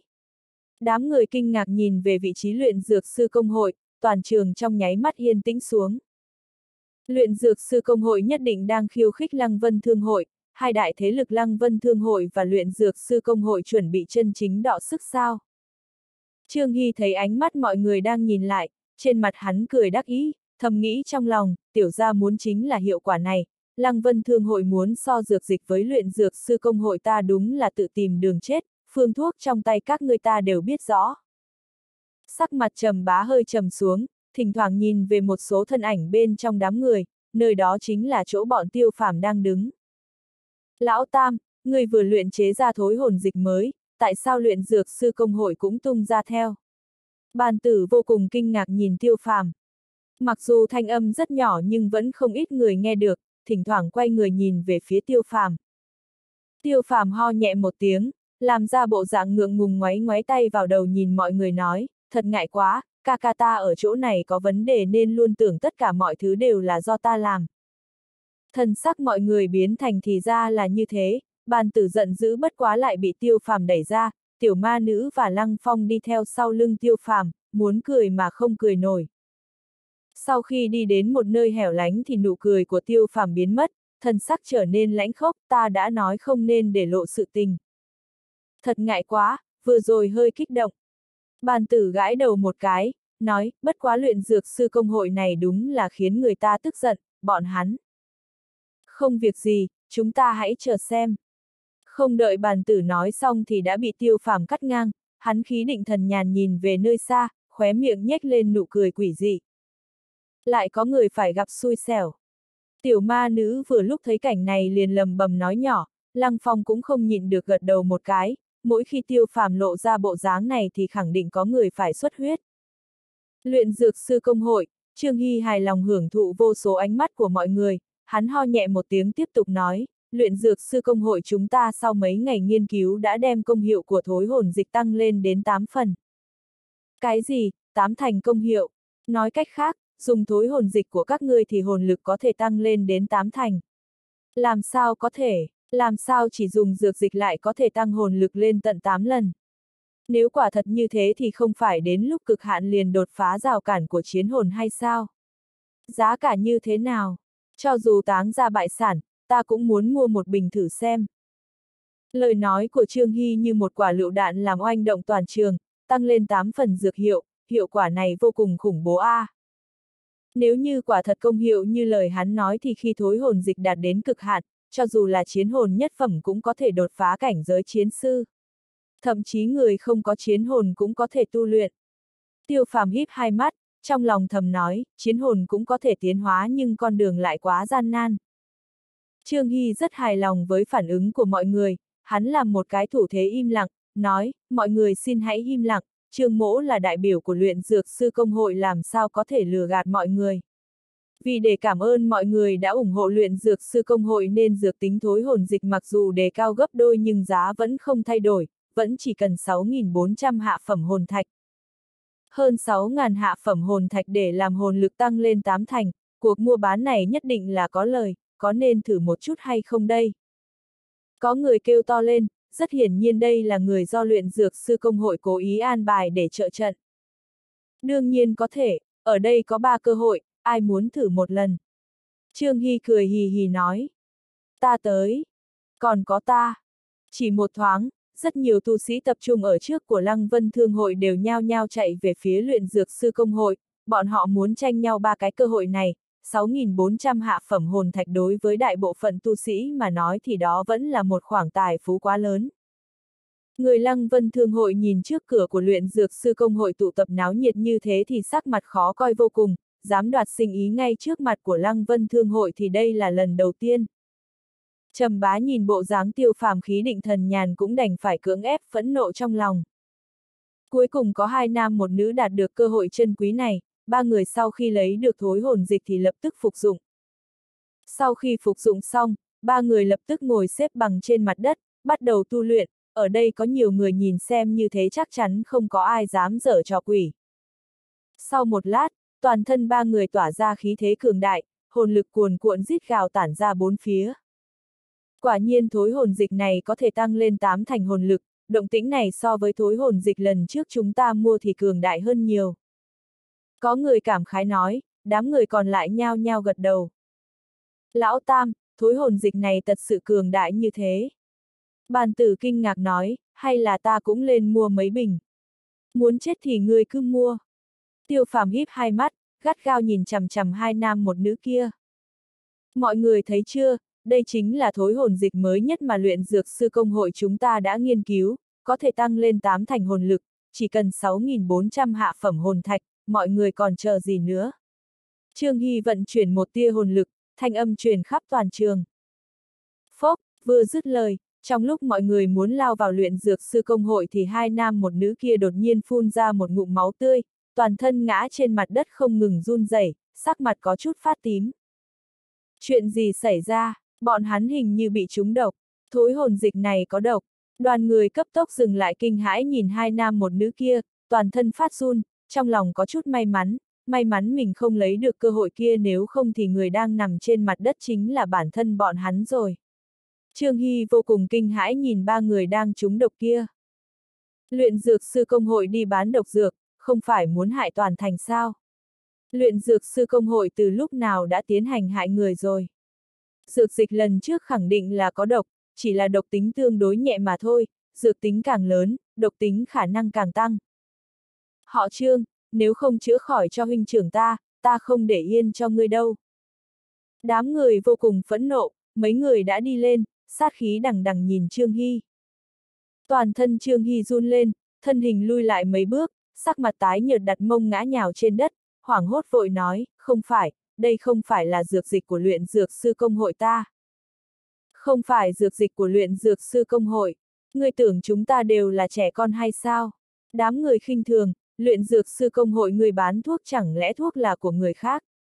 Thực, Trương Hy bối rối vô cùng, lời trong miệng khó nói, đây quả thật không phải là dược phương của luyện dược sư công hội mà do hắn thông qua người khác đoạt từ Lăng Vân Thương hội, thế nhưng nếu giải thích như thế thì có ma mới tin. Cái này không. Lời còn chưa dứt thì đã bị quần chúng tiến lên quần ẩu, mấy người của luyện dược sư công hội liền nhao nhao chạy trốn vào trong. Đừng đánh ta, đừng đánh ta. Trương Hy ôm đầu có quắp cuộn tròn trên mặt đất, tiếng hét như heo bị chọc tiết vang lên. Đám quần chúng phẫn nộ cũng không muốn giết hắn, bằng không, thì không chỉ la hét đơn giản như thế mà hắn đã bị mất đi tứ chi rồi. Đúng là gieo gió gặp bão. Bộ dáng bàn tử cười trên nỗi đau của người khác. Lão Tam, không phải ngươi lại dở trò đấy chứ? Lăng Phong hít một hơi, ánh mắt kinh ngạc nhìn tiêu phàm. Bàn tử nhìn tiêu phàm không khỏi run run, nếu quả thật việc này do tiêu phàm làm thì hắn có chút đáng sợ rồi. Ai dám làm càn ở đây? Không đợi tiêu phàm mở miệng, bên trong luyện dược sư công hội lại truyền đến một tiếng gầm, một cỗ hồn lực bành trướng phóng ra bốn phương tám hướng. Bỗng nhiên xuất hiện tiếng gầm thét, gió lốc khủng bố xoay ầm ầm, đám người lập tức bị thổi ngã một đám, bên trong xuất hiện Trương Hy sưng như đầu heo. Một đạo thân hình lóe qua trong nháy mắt xuất hiện ở bên người Trương Hy, hắn chính là Trương Nhiễm. Dám đến địa bàn luyện dược sư công hội Dương Oai, các người chán sống hết cả rồi sao? Trương Nhiễm trợn mắt như chuông đồng một cái, nhìn thấy con của mình bị đánh thê thảm như thế hắn làm sao không tức giận. Trầm bá nơi xa nhìn thấy một màn này, ánh mắt lộ ra vẻ kinh ngạc, hắn thỉnh thoảng quét về phía tiêu phàm, thầm nghĩ trong lòng, ngay cả trương nhiễm đều xuất hiện, hiện tại bộ dáng của tiêu phàm giống như đã tính trước được, xem ra việc này nhất định có quan hệ với hắn. Nếu như lúc trước trầm bá còn có chút không phục tiêu phàm thì hiện tại hắn đã hoàn toàn công nhận một thế hệ tiêu phàm. Đám người biết thân phận của trương nhiễm, trong lúc nhất thời không dám lên tiếng, dù sao người bọn hắn đánh chính là con trai của Trương Nhiễm. Trương Phó Hội trưởng, huynh trưởng ta sử dụng dược dịch của luyện dược sư công hội các ngươi liền hôn mê bất tỉnh, còn mời Trương Phó Hội trưởng cho chúng ta một lời giải thích. Một tên tu sĩ trong đám người lấy dũng khí mở miệng, hắn vừa rồi là một trong những người ra tay mạnh nhất. Hừ, dược dịch của luyện dược sư công hội của chúng ta làm sao có thể có vấn đề, có khi nào thân thể của huynh trưởng ngươi có vấn đề không? Trương nhiễm hừ lạnh một tiếng, hai mắt trừng lên làm người kia không dám nói tiếng nào. Cho dù thân thể hắn có vấn đề thì cũng không phải liền ba người đều có vấn đề đi, trừ phi ngươi để nhi tử ngươi tự mình nghiệm thuốc để chứng minh thối hồn dịch không có vấn đề. Đám người có người mở miệng, trong lúc nhất thời không biết là ai nói. Sắc mặt trương nhiễm tái nhợt không biết nói gì. Đúng là coi tu sĩ trong thiên hạ đều là kẻ ngốc sao. Cách đó không xa, tiểu ma nữ cười lạnh một tiếng, ấn tượng đối với phụ tử trương nhiễm trương hy trong mắt của nàng liền rơi vào vực sâu. Con của ta bị các ngươi đánh trọng thương mà các ngươi còn bắt hắn đi nghiệm thuốc. Trương nhiễm lấy cớ để đổi chủ đề. Sau đó trương nhiễm đỡ trương hy dậy, hắn cầm một cái bình ngọc cho trương hy phục dụng, mấy giây sau thần sắc trương hy khôi phục lại không ít, khuôn mặt hồng hào phơn phớt. Hiện tại trương hy không có việc gì rồi, có thể nghiệm thuốc. Trong đám người lại có người mở miệng, không muốn dễ dàng buông tha Trương Hy. Hy nhi, chuyện gì xảy ra? Trương nhiễm cúi thấp đầu nhìn Trương Hy, nháy mắt với hắn một cái. Trương Hy hiểu ý, ho khan mấy tiếng, nói ra, ta có thể đảm bảo sau khi luyện chế xong thối hồn dịch thì chúng ta đã cho người dùng thử qua, tuyệt đối không có vấn đề. Người nói đã cho người khác thử qua. Đám người cười lạnh, cái cớ này quá giả dối đi, kết quả thử thuốc chỉ có các ngươi biết, có ai biết đến cùng thì thuốc có vấn đề hay không? Có bản lĩnh thì bản thân ngươi tại chỗ thí nghiệm thuốc đi, như vậy mới có thể chứng minh dược dịch không có vấn đề. Trương Hy phẫn nộ nhìn quần chúng, nhưng hiện tại hắn không dám tiếp tục kích động bọn họ, một hai người thì hắn còn có thể đối phó nhưng ở đây có đến cả ngàn người, hắn đối phó nơi mô. Vạn nhất đắc tội mấy ngàn tu sĩ ở Yến Thành thì hai phụ tử hắn đều gặp họa rồi. Dược dịch này khẳng định không có vấn đề, hôm qua chúng ta mới thử qua, phương thuốc đúng rõ ràng là từ Lăng Vân Thương Hội. Trương Hy vội vàng giải thích, nhưng một câu cuối cùng làm hắn hơi hối hận. Lăng Vân Thương Hội, thì ra dược dịch của các ngươi là ăn cắp từ Lăng Vân Thương Hội. Từ lúc nào mà luyện dược sư công hội cần phải ăn cắp dược phương của người khác để luyện dược đây? Ta nói mà, Lăng Vân Thương Hội vừa mới tung ra thối hồn dịch mới thì luyện dược sư công hội cũng ăn theo, thì ra là ăn cắp từ Lăng Vân Thương Hội. Đoán chừng không chỉ thối hồn dịch mà ngay cả kim sáng dịch và mỹ dung dịch đều ăn cắp từ Lăng Vân Thương Hội đi, thậm chí rất nhiều dược dịch trước kia đều là ăn cắp đến. Đám người kinh hô, lập tức nhao nhao nghị luận lên, một mặt xem thường nhìn Trương Hy. Trương nhiễm sầm mặt lại, hận không thể một bàn tay đập chết cái thằng trời đánh này, người không thể một mực chắc chắn dược dịch không thành vấn đề sao. Sao còn mói ra cái lời khôn kiếp này? Sau ngày hôm nay, thanh danh luyện dược sư công hội tại Yến Thành tất nhiên sẽ đại giảm, thậm chí không ai dám tới luyện dược sư công hội để mua dược dịch nữa. Trên mặt trầm bá hiện ra một vòng tiếu dung, hắn rốt cuộc biết vì sao tiêu phàm lại bình tĩnh như thế. Các vị, phương thuốc lúc đầu của thối hồn dịch đúng là thuộc về Lăng Vân Thương Hội, nhưng nửa tháng trước Lăng Vân Thương Hội ta có mất một chút đồ vật.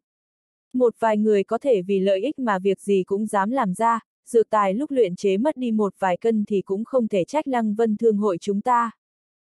Trầm bá biết lúc này nên nói thế nào.